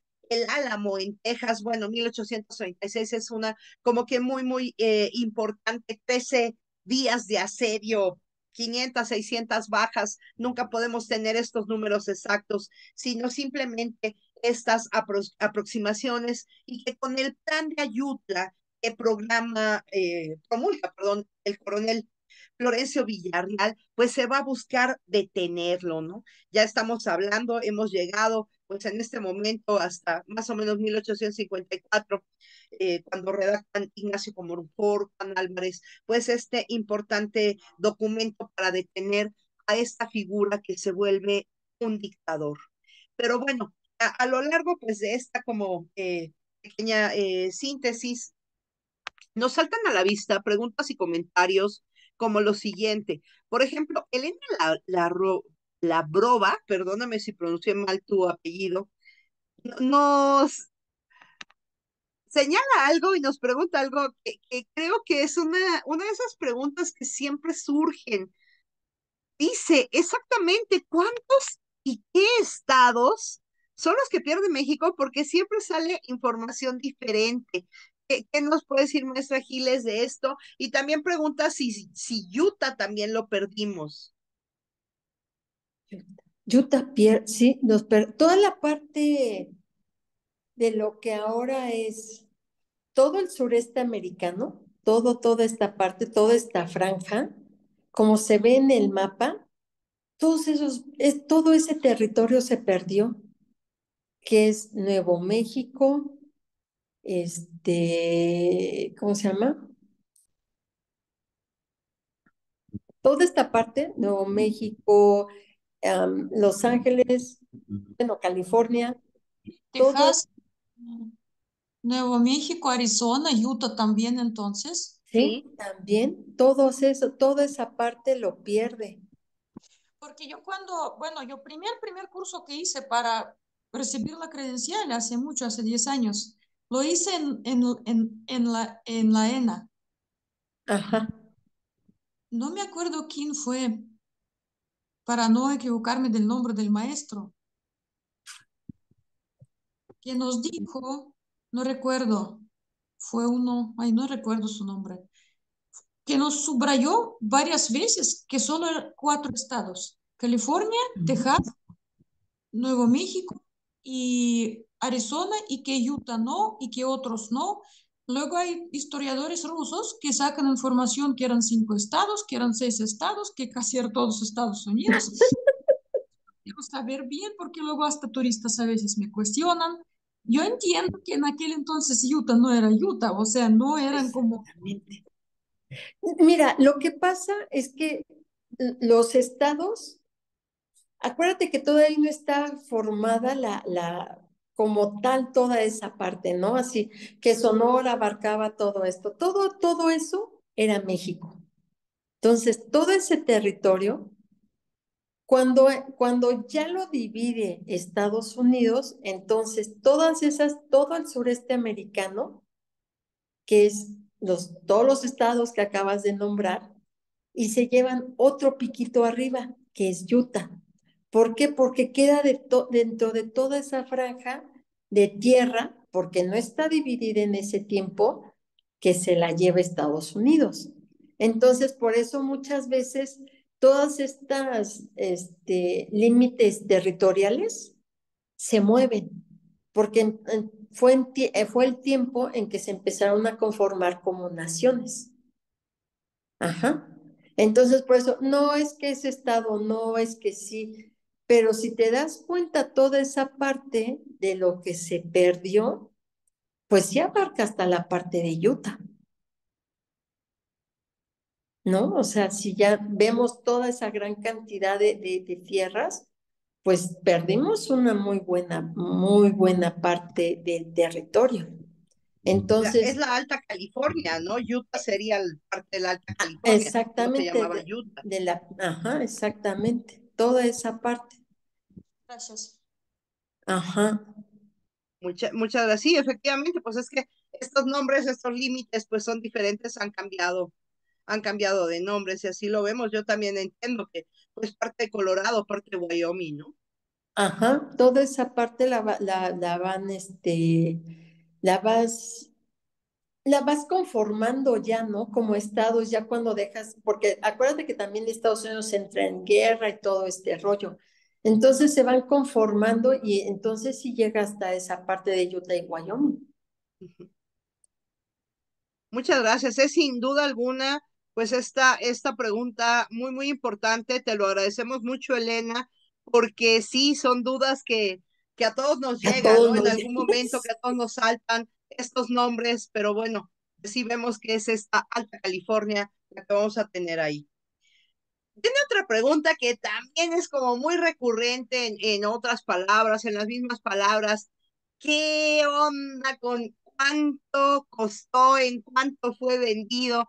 Jesús López Ruiz nos dice, En otra ponencia, escuché que de los 15 millones de dólares que el territorio fue vendido, solo se ha pagado un millón y que además el, estado, el gobierno de Estados Unidos quería todo el territorio mexicano. ¿Qué nos puede comentar de esto? Sí, es cierto. Fíjate que sí, yo no me había acordado hasta ahorita que estás comentando, y sí es cierto. Estados Unidos no pagó toda la deuda, ¿eh? Solamente pegó, pagó una parte. Y entonces muchas veces es lo que siempre se ha recriminado. ¿Por qué no pagó? Entonces que nos regrese nuestro territorio porque no pagó. Entonces, este, sí, fíjate que no me había acordado de, de eso, cierto. Este, gracias por el comentario y este, pero sí, Estados Unidos no terminó de pagar. Muchas gracias. Eh, tenía la mano levantada. Ah, ¿era Jesús? Sí. Adelante, por favor. Sí, gracias. Eh, sí, es un poquito, pues abonando en, en, en, en, este, en este mismo tema y también la pregunta de la compañera este, anterior. Eh, ajá. que bueno, yo, yo comentando que yo sabía y también en el Museo de las Intervenciones en Churubusco, ¿no? Lo, lo, lo vi que, pues sí, que Estados Unidos decía, todo, queremos todo. Y que, bueno, eh, que en realidad todo el territorio mexicano se volvió Estados Unidos de América durante nueve meses. Porque a partir de la pérdida de la guerra de, del 47, ¿no? Después de la, de la toma del castillo de Chapultepec, que fue la última batalla, ya toman Palacio Nacional, y pues la bandera de Estados Unidos está ondeando sobre Palacio Nacional. Y entonces en ese momento se vuelve territorio, todo es, todo es Estados Unidos, ¿no? Sí. Y, y, precisamente en los nueve meses siguientes están las negociaciones de, de, de, de este, de este tratado. Cuando ya se firma, pues bueno, pues ya, pues ya, ya se firmó el tratado, baja la bandera de Estados Unidos, vuelve a poner la bandera mexicana y pues ya. Este, pero, y también en otro sentido, hace, bueno, en el mismo sentido, eh, hace un cinco años, cuatro o cinco años, eh, incluso está la entrevista en YouTube, si alguien la quiere, la quiere ver. Carmen Aristegui entrevistó a un abogado que vive en California, que lleva 30, 40 años este, haciendo gestiones legales con documentos que según él tiene eh, originales y que pues que este tratado es ilegal y que pues está pues gestionando para pues para por lo menos demostrar que es ilegal. Al final la pregunta es la entrevista es larga, dura casi una hora y bueno, al final la pregunta de los 64 millones, ¿no? Le pregunta a Carmen Aristegui, oye, bueno, sí, ya viste todo, presentaste documentos, tienes evidencias. La pregunta de, ¿se va a poder recuperar el territorio? Y él dijo que pues que lo ve muy difícil, ¿no? Pero pues bueno, ahí sigue, ahí sigue el, ahí sigue la herida, este, latente, medio encostrada y medio que, etcétera, ¿no? Yo, yo, yo a mi modo de ver, ¿verdad? Particular, y con, con los datos y todo esto, creo que es una herida que, que sigue abierta y que al final del día yo creo que, bueno, en un principio es injusto, ¿no? y se quisieron aprovechar y como dices, que llegaron hasta, hasta, hasta la capital, ¿no? pero este, gracias a los tratados y todo esto, pues, y toman al río Bravo, ¿no? Como, como este, división natural. Y todavía, perdón, todavía hay una controversia, porque eh, la franja todavía, de Estados Unidos decía, no, más al sur, y México decía, no, más al norte. Sí, sí. Ajá. Ajá, y, por, y porque ellos también querían las bajas, Baja California, norte y sur, pero Ajá, hubo una pelea, no me acuerdo bien qué, cuál es la pelea que hay, voy a buscarlo, este, una pelea entre, este, para que no se llevaran la, las bajas, Entonces, este, y que ellos forzosamente estaban peleando el territorio, ¿no? Porque quedarse con todo, porque querían que todo fuera Estados Unidos, este, de Estados Unidos, y que no fueran Estados Unidos americanos. Entonces, este, y hasta no sé, no, no, ahorita lo que estás comentando, hay un momento en que cambia eso, ¿no? Que este, que ya no es la República de Estados no sé qué y la cambia por la no sé este por estados no sé cuánto. Había una cosa así cuando estaba peleando este todo el territorio. Sí, así es. ¿Verdad? Sí, sí, sí, muy cierto. Ya nada más para comentario ahí con los colegas, bueno, yo siempre les comento esto en, las, en las visitas, cuando doy una visión general de México, a cuando estoy en las guiadas, pues sí, sí, sí comento que este, cuando son turistas de Estados Unidos. ¿Ustedes sabían que Estados Unidos de América le debe, tiene una deuda de 14 millones de dólares desde 1847? No, no, no, no, no sabíamos, pues ya lo sabíamos. Pero todo, todo en un chiste, en forma, ya sabes. Este, sí, claro. Ahí, está el dato para que, pues, este, para que lo sepan. Y muchos casos, los mismos turistas se quedan con una cara así como diciendo, Ajá. Los bien gandallas, los, los, en Estados Unidos, ¿no? Los bien y le digo, pues sí, yo por dentro, ¿no? Pues sí, son gandallas. Pero bueno, muchísimas gracias. No, a ti muchísimas gracias. y fíjate que sí es cierto, cuando tú le comentas algún extranjero de, de esa de invasión, y se quedan, este, ¿en serio les debemos? ¿No? Y se te quedan viendo con una cara de, ¿y tendríamos que pagarlo? Digo, pues comienza hoy con una buena propina y ya con eso, con eso vamos a empezar. Exactamente. Cierto, muy cierto.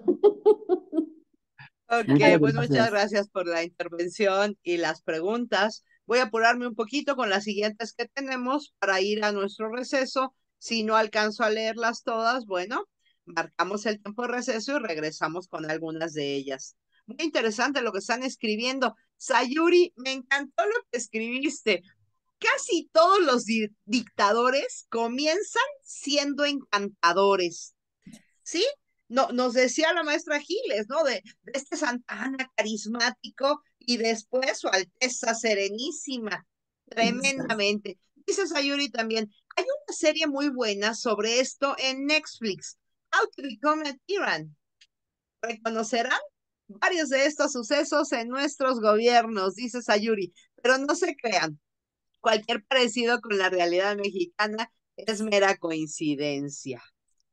Bueno, estaremos buscando la serie este, Sayuri sin ningún problema.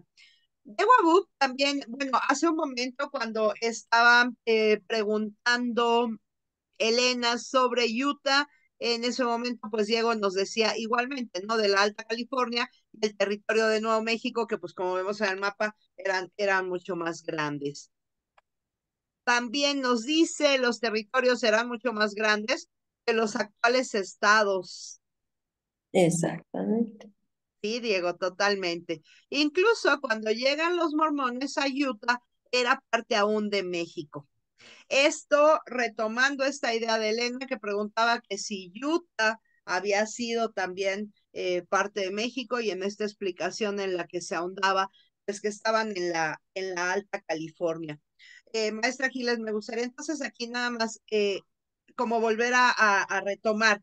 Sería entonces California, Nuevo México, Arizona, Texas, Nevada, Utah, contenidos en la Alta California y parte de Colorado y Wyoming. Exactamente. Sí, estamos bien. Ok. Es enorme, o sea, no, no más eso.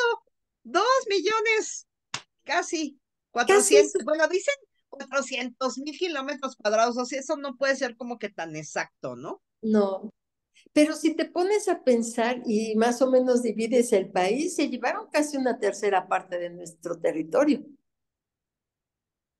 Tremendamente. Tremendamente. Y, bien comenta después también Diego, dice, ahora, si bien se perdió mucho territorio en un país centralista, entiendo que el norte era nada productivo, por eso se invita a colonos gringos, ¿no? Nos pregunta Diego. No, fíjate que no, fíjate que sí es productivo. Hay una, hasta hay un, bueno, y ya desde antes hay este cultivos en, en el desierto que han modificado la, la, la pues la arena y hay cultivos de algodón muy, pero de muy buena calidad que tienen en esta parte, sobre todo en la parte de Sonora, este, y sería Arizona, en Arizona sería la parte de Arizona, y cultivan muchísimas cosas, aunque sea desierto, ¿eh? Y no es que, porque aprendieron a vivir ahí y aprendieron a adaptarse a estos lugares y a cultivar, y hay mucho cultivo en esa parte.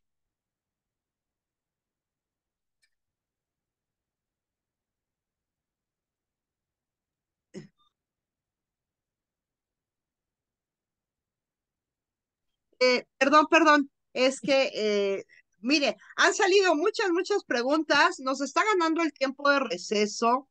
Yo les propongo lo siguiente, que paremos aquí un momento para irnos a nuestro receso y volvemos y retomamos todos porque son varias preguntas, todas muy interesantes y si no se nos va a ir eh, alargando y alargando. ¿Le parece bien, maestra este, Giles? Sí. Hacemos aquí una pausa y ahorita lo retomamos. Ok, perfecto porque sí, se han sumado muchas preguntas, muchos comentarios, lo cual pues nos da muchísimo gusto, eh, demuestra pues este interés en, en qué pasó, hasta dónde, qué tanto, algunas están eh, un poco retomando lo anterior. Así que bueno, eh, pues vamos a, a pedirles nada más que abran su cámara para poder hacer estas capturas que les decía. Vamos a hacer ahorita aquí una captura de pantalla rápida. No me cierren luego, luego la cámara, por favor. Porque se tarda un poquito en capturarlo y grabarlo.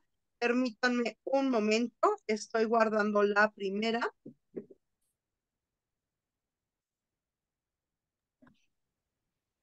Un segundito, ¿eh?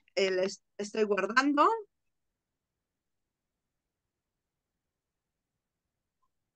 A ver. Ahorita hago la segunda y se tarda un poquito y lo marcamos.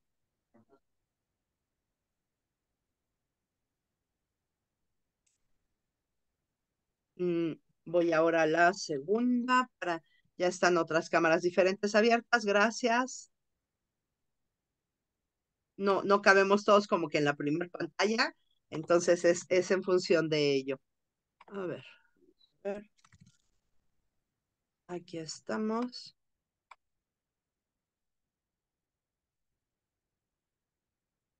Muy bien. Miren, vamos a tener entonces, por favor, 20 minutos de receso. Son las 8.15, volvemos a las 8.35 y continuamos pues resolviendo todas estas inquietudes.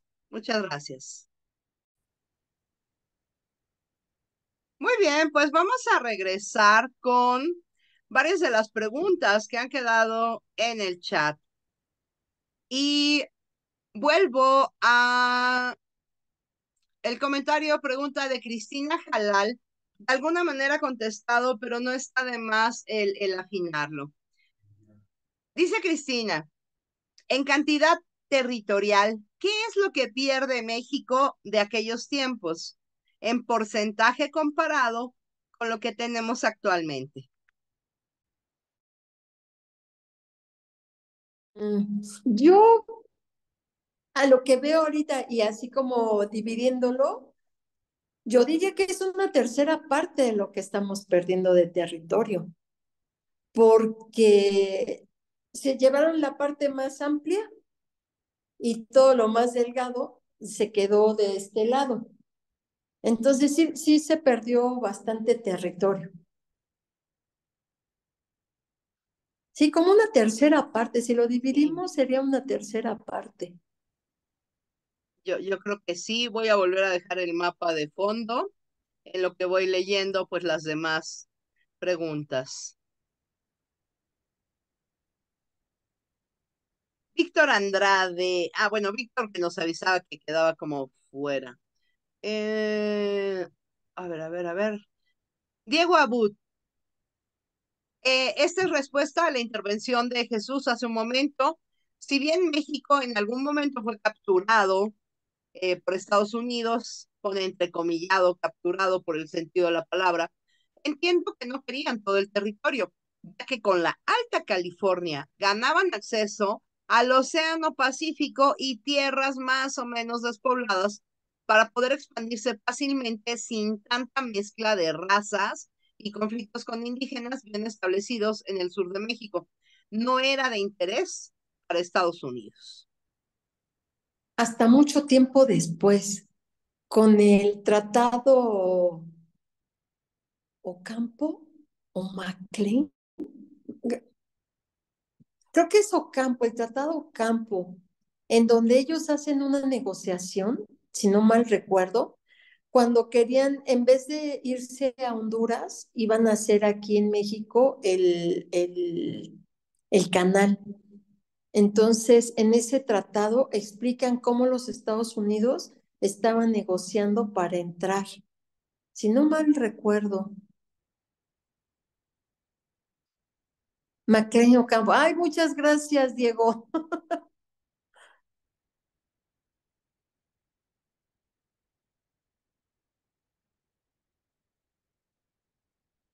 Se me esconde de pronto el micrófono, sí. Macleño Campo 1859 es tiempo después. Sí. Luego Sayuri nos pone aquí unas ligas, no sé de qué son las ligas, Sayuri, ahorita las checamos. Si no nos escribes de qué son, con mucho gusto las compartimos. Victorino Moguel pregunta, ¿qué hay de la firma por el Congreso del Tratado de Guadalupe Hidalgo? No entendí. Victorino, ¿podría ser como más específico, por favor? Porque así Sí. dice nada más, ¿qué hay de la firma del tratado? Ay, ya lo, lo perdí, espéreme, es que, ¿qué hay de la firma por el Congreso del Tratado de Guadalupe Hidalgo? Sí, hola, buenas noches. Buenas Adelante. noches. Sí, eh, este sí se habla del tratado de que cuando hubo la intervención de Estados Unidos con aquí con este con el con México, ya que este fue el exilio de, de, de Santa Ana en ese tiempo. Entonces, este, debido a la, al conflicto bélico que tenían, se hizo el Congreso, ya, ya sin Santa Ana en, en el país, el Congreso este, firmó el Tratado de Guadalupe Hidalgo, donde donde eh, los Estados Unidos pagaban como una indemnización de los 15 Ajá. millones de dólares que se hablan. Entonces fue un tratado que se hizo no más bien la venta, sino que el Congreso fue el que hizo ese tratado convenio, ¿no? De los 15 millones. Eh, se, Exactamente. se, se, se hizo como, como, como la indemnización que se hace cuando se hace un conflicto de un país con otro y en caso para reparación de daños o algo así del Ujú. cual se dice que se pagó solo un millón, no dice que quedaron a deber los.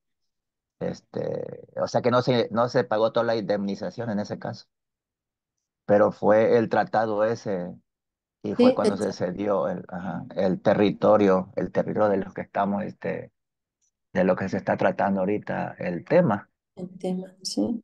Ajá. Sí, que se pierde los, en ese tiempo no era tal como estado, pero se habla de la Alta California y Nuevo México, que hoy es este Arizona, California, Nevada, Colorado, Utah y parte de Wyoming, como mencionaron hace rato. Ujú.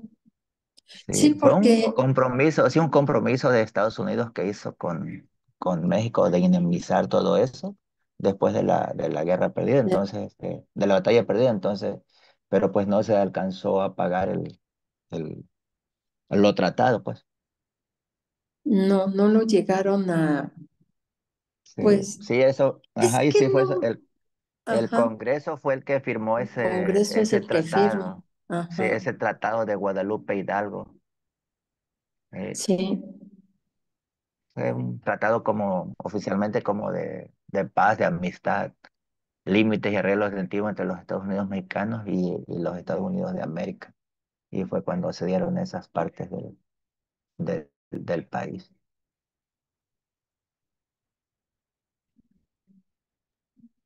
Pues No muchas si, gracias por, por esa intervención. No sé, este maestra Giles, si quiera comentar algo más al respecto. Lo que no, a, a lo, siguiente. nada más de como este, como es, comentario y, y, como duda también mía. No recuerdo en este momento quién, quién es el que firma el tratado, si alguien lo sabe, se lo agradecería.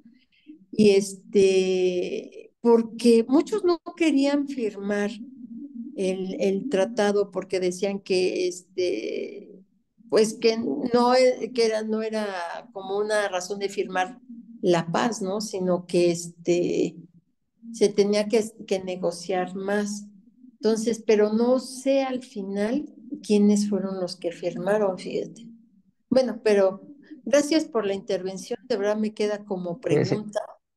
La voy a anotar. Sí, habla del Congreso, habla del Congreso, pero pues, bueno, no, este, no se sabe quiénes formaban el Congreso, porque ya en, en, eso este, Santana ya había sido exiliado ya a Colombia. Sí, estaba en el exilio, exactamente.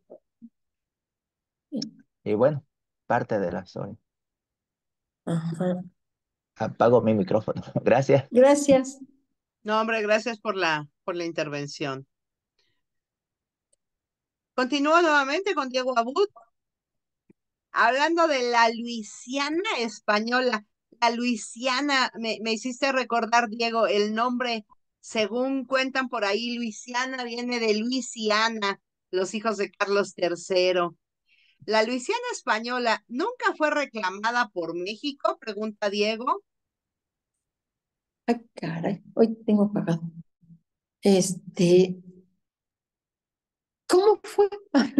Me perdí. Diego pregunta si la... Luisiana española nunca fue reclamada por México.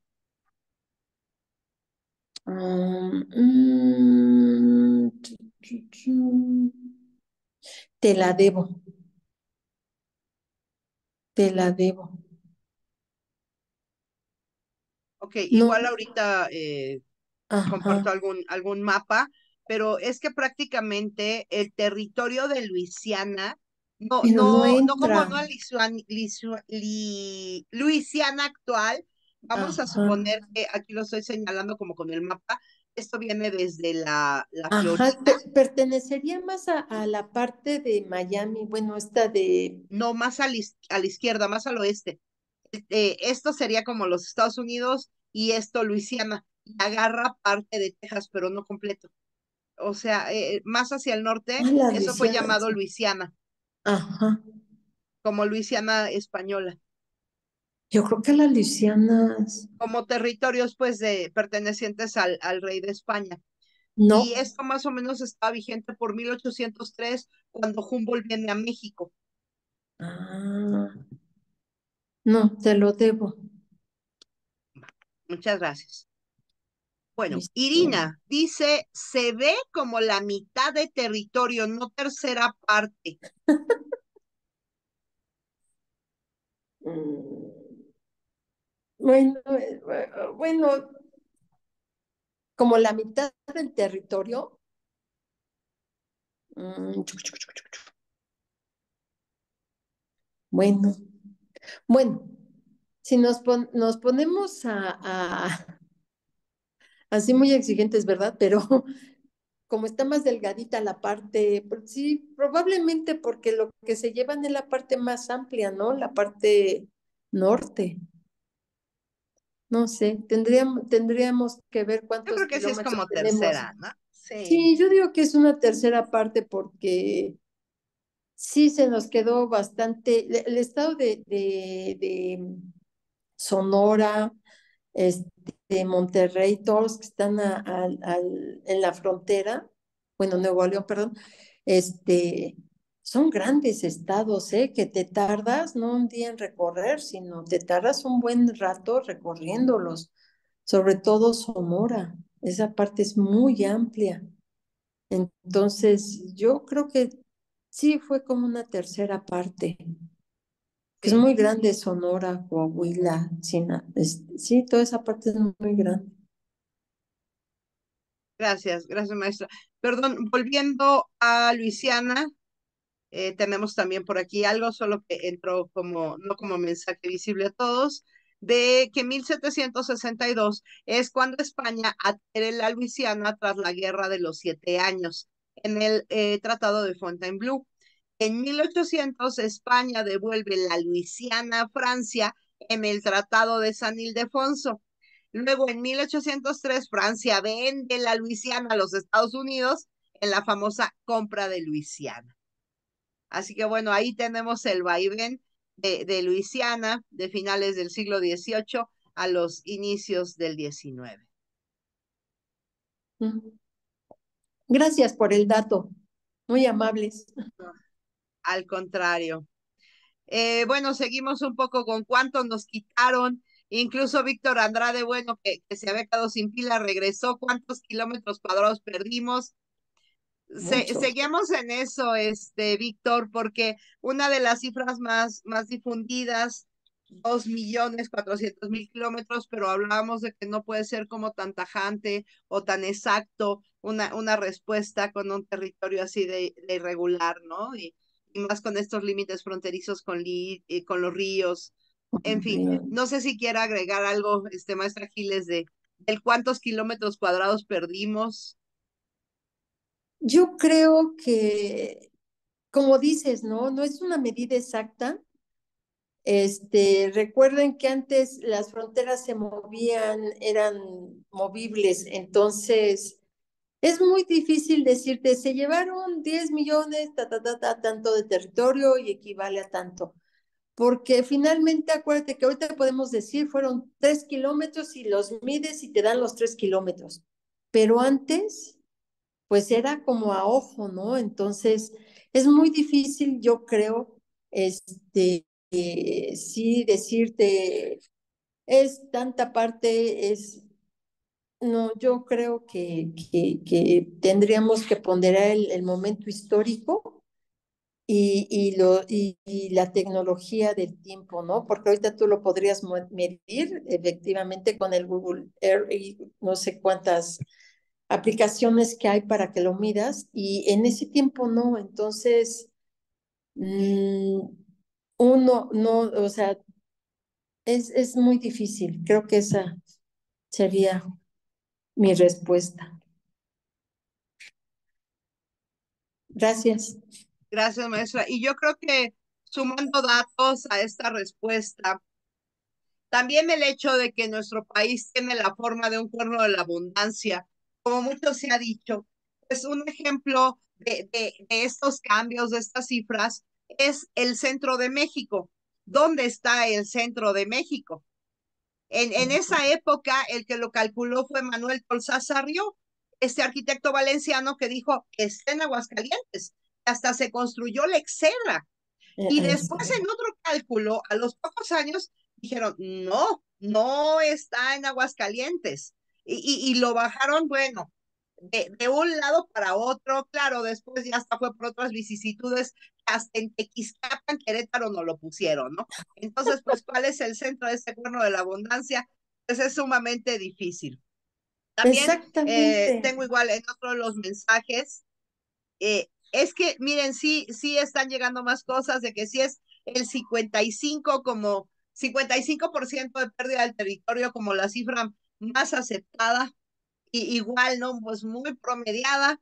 Y eh, Diego nos manda también la firma del Tratado de Guadalupe Hidalgo estuvo a cargo de, de Nicolás Tris, que era el comisionado de paz de los Estados Unidos, y de Bernardo Couto, Miguel Aristain y Luis Cuevas, que no tuvieron opción para negociar y que tomada la capital, la frontera norte y los puertos mexicanos, para muchos congresistas estadounidenses ni siquiera había la razón para firmar la paz. Muchas gracias, eh, Diego, por toda, toda esta serie de, de datos para ir cerrando temas, ¿no?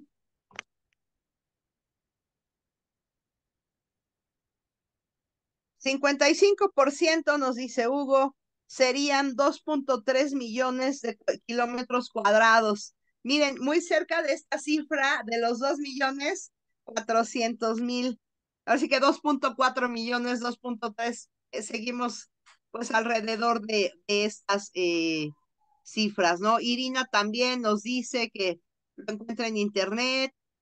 que son 110 mil leguas guardadas, guardadas, publicadas en Tiempo de México.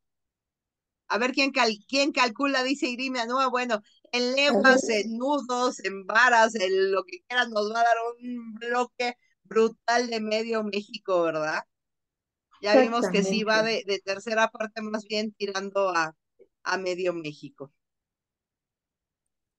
Bien, no sé si eh, hay alguna otra eh, pregunta diferente, algunas, bueno, pues, son las mismas. Como comentario, independientemente. Si no, pues continuamos.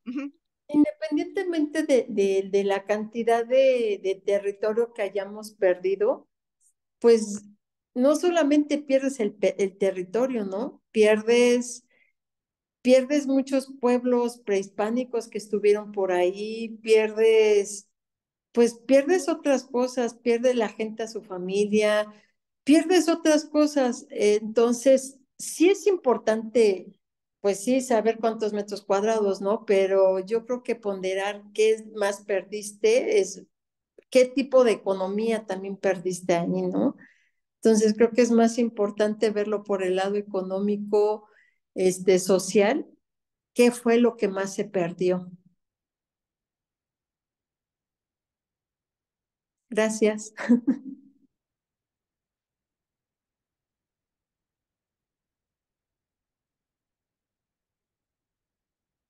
No, al contrario, gracias a, todos por los comentarios, a la maestra Giles por, por sus respuestas. Tenemos prácticamente hasta aquí llegamos con esas preguntas, respuestas, porque bueno, lo demás son algunas ligas, algunas cosas ahí para, para poder revisar. Y pues adelante, si gusta continuar con, algo más de, del tema, bienvenido. Pues ya casi estamos en la recta final.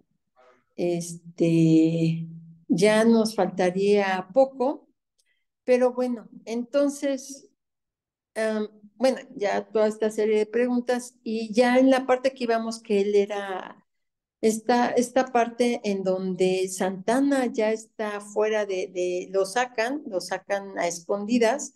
Entonces está en Perote y, dirige un manifiesto a la nación en el que se, eh, se llena de, de autoelogios, este, y recordaba a sus ingratos y a sus detractores, ¿no? Decía compatriotas, los compatriotas que lo habían llamado, al destierro, según él dice que según ellos iban a salvar a, México, ¿no? De la anarquía y de que forma casi unánime los de las autoridades de los estados se habían pronunciado para su regreso, produciendo un decreto del 17 de marzo de 1853 que declaraba que era voluntad de la nación que él ocupara la primera magistratura con facultades omnimodas, o sea, casi de omnipotente de, Dios, ¿no?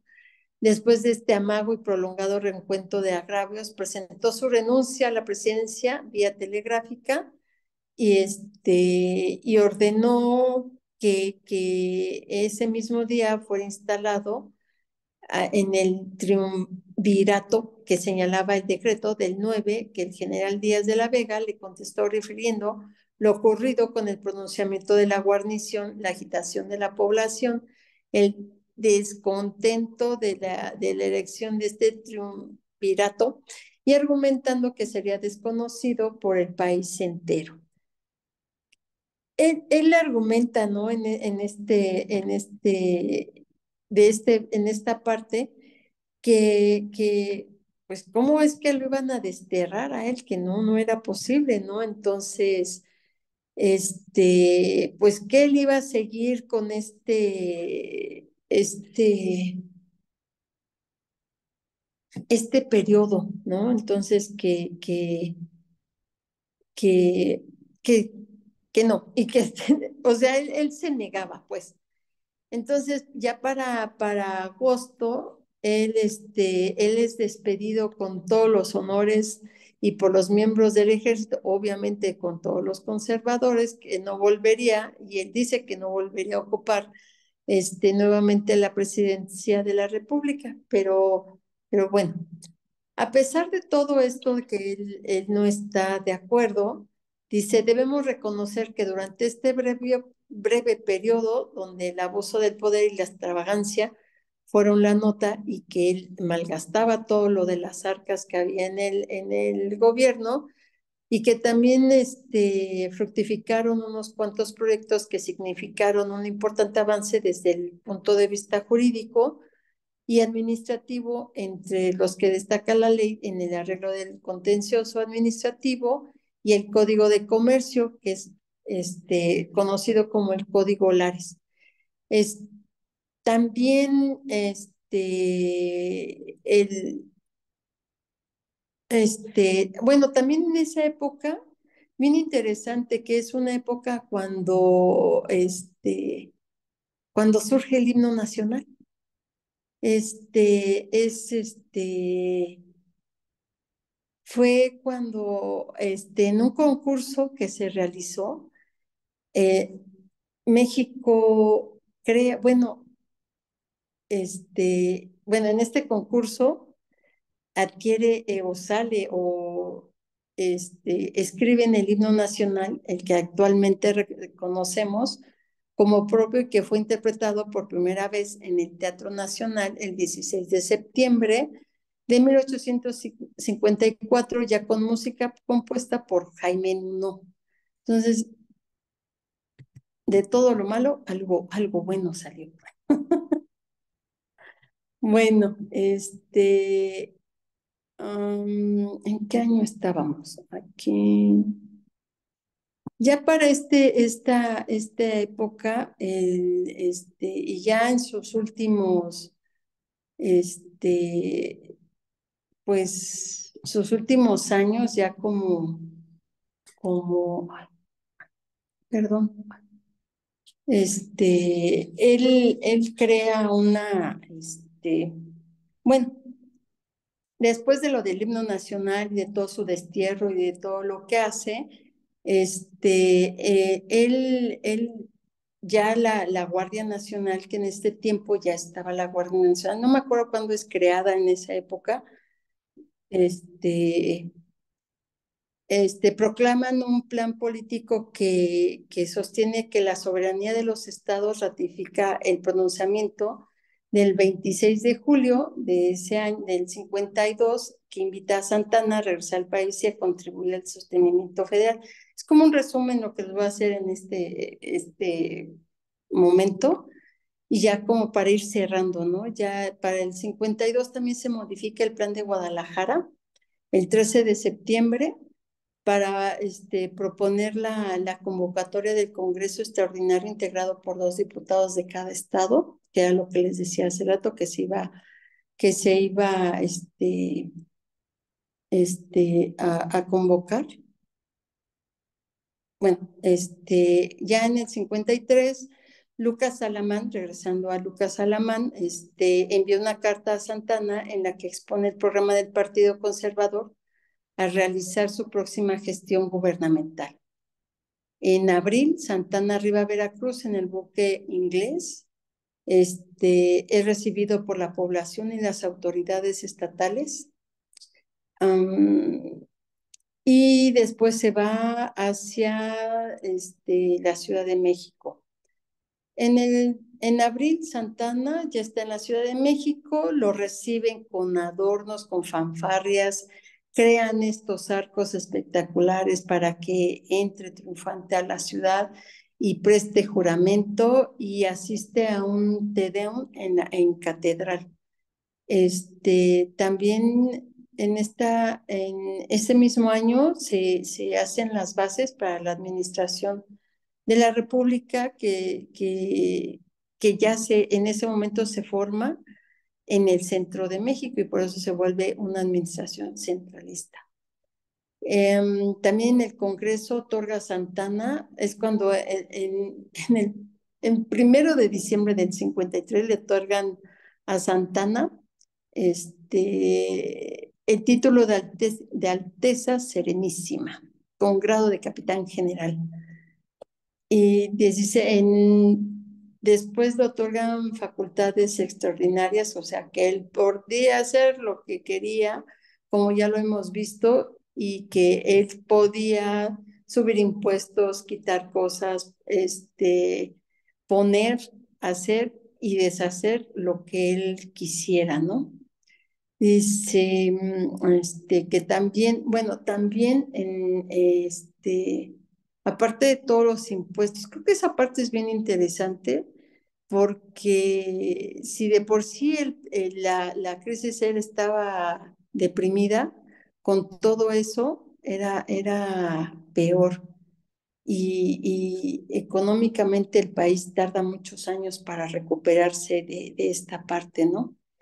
Este, también se proclama en el 54 el plan de Ayutla en contra de la dictadura de Antonio, de, Antonio, Antonio López de Santana.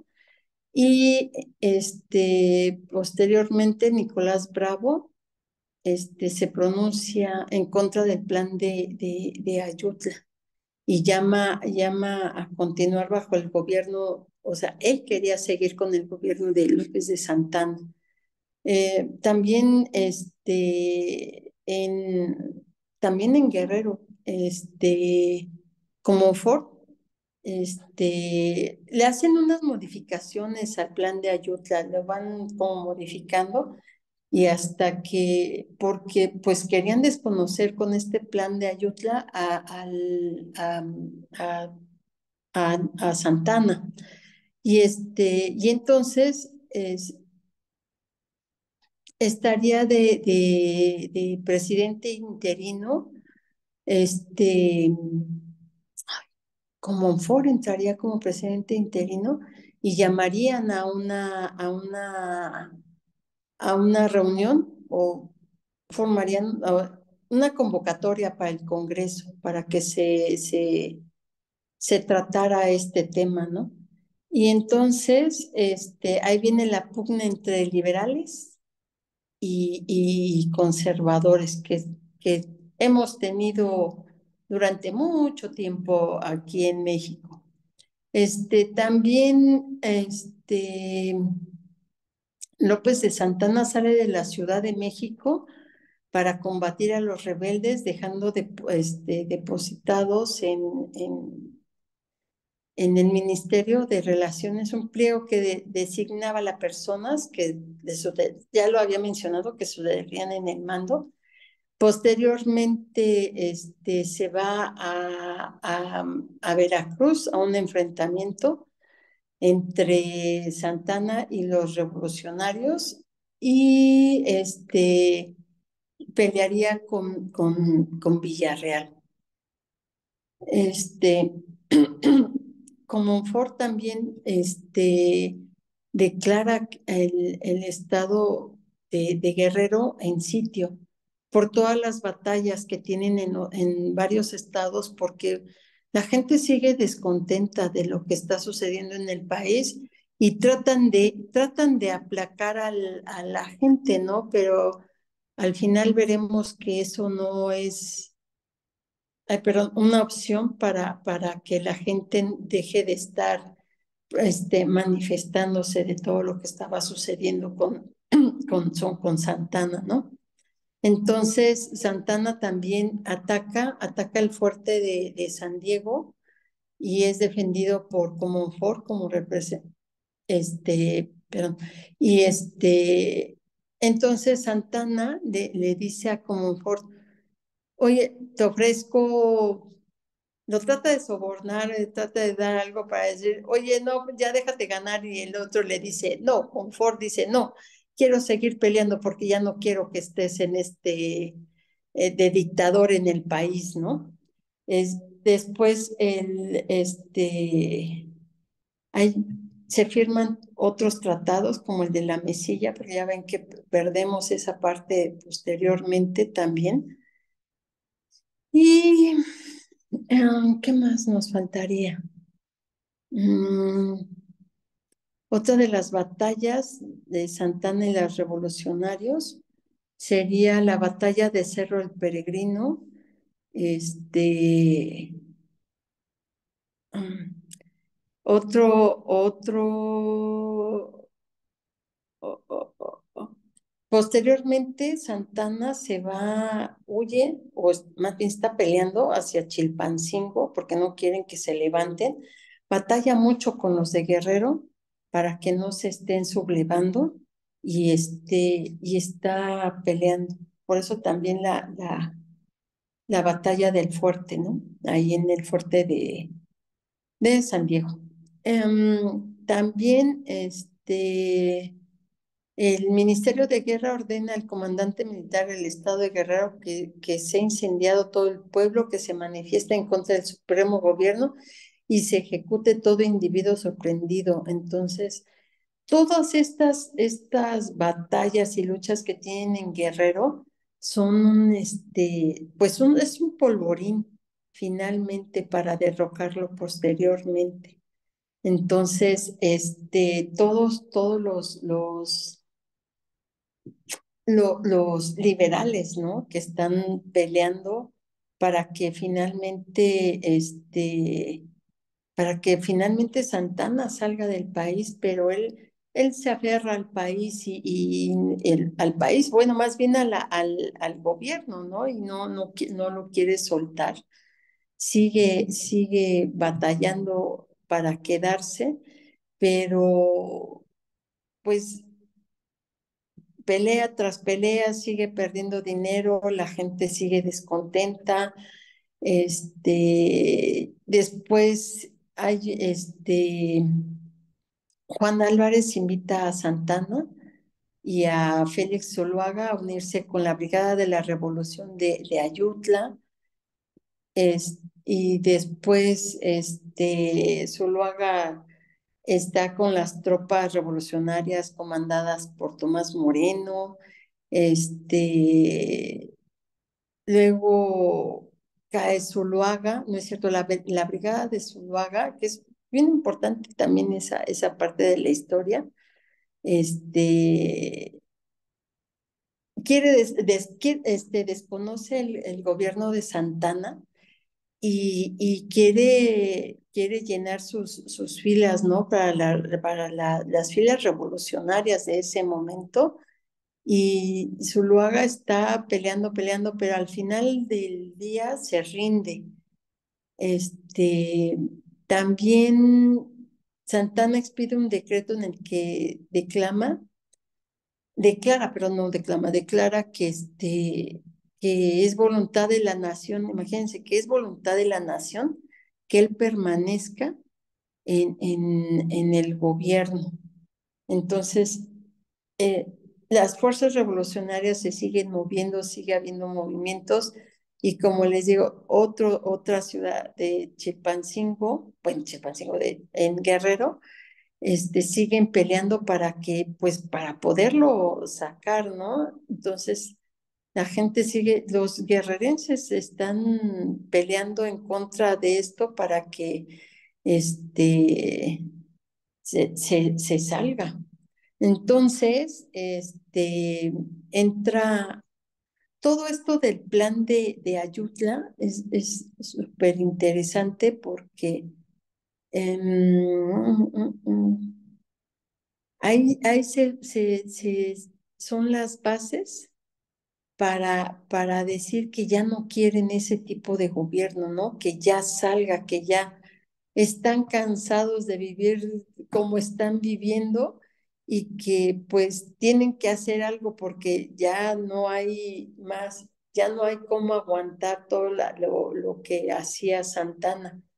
Entonces, por eso es este, al final de, de su mandato, bueno, en su última en sus últimos años se vuelve un este, dictador Santana y no, no soporta que la gente este, este, esté en contra de él si es él, él es la, la excelentísima, ¿no? Su Alteza excelentísima.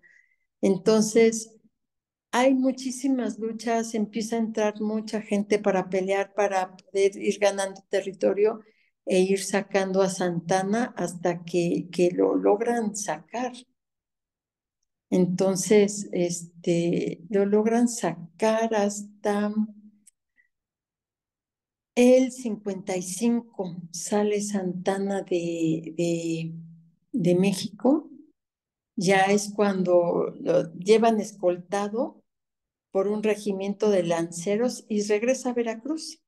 Regresa a, a, Veracruz, en donde en, en Perote, en, Perote, hace este, redacta un manifiesto porque tenía una finca en, en, Perote y en donde redacta un, un, pues su renuncia, ¿no? Ya finalmente renuncia y pero renuncia como el gran dictador y al final de sus días termina, no me recuerdo, termina este pobre, sin dinero, por todo lo que, por todo lo que se gastó.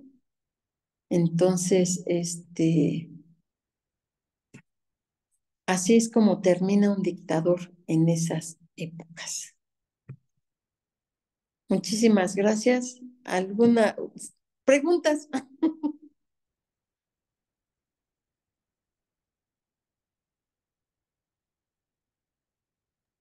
Sí, sí, claro, eh, voy, voy a eso.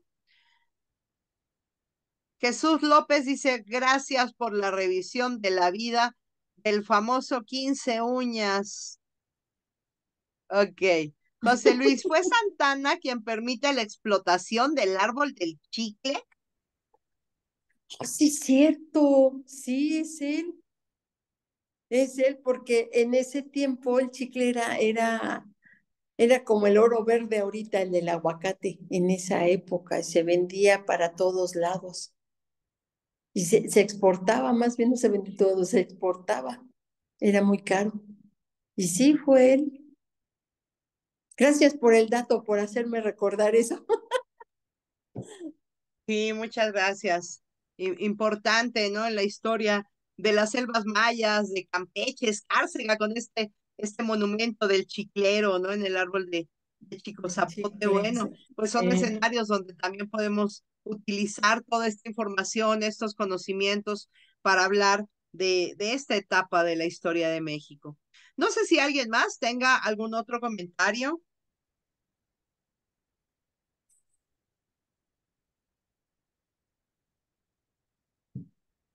Mm, parece que no. Bueno. Sí, hay uno, hay uno, hay uno. Ah, perdón, Víctor Andrade por John Thomas Adams. Claro, por los chicles Adams. Y así sí, totalmente. Una industria enorme.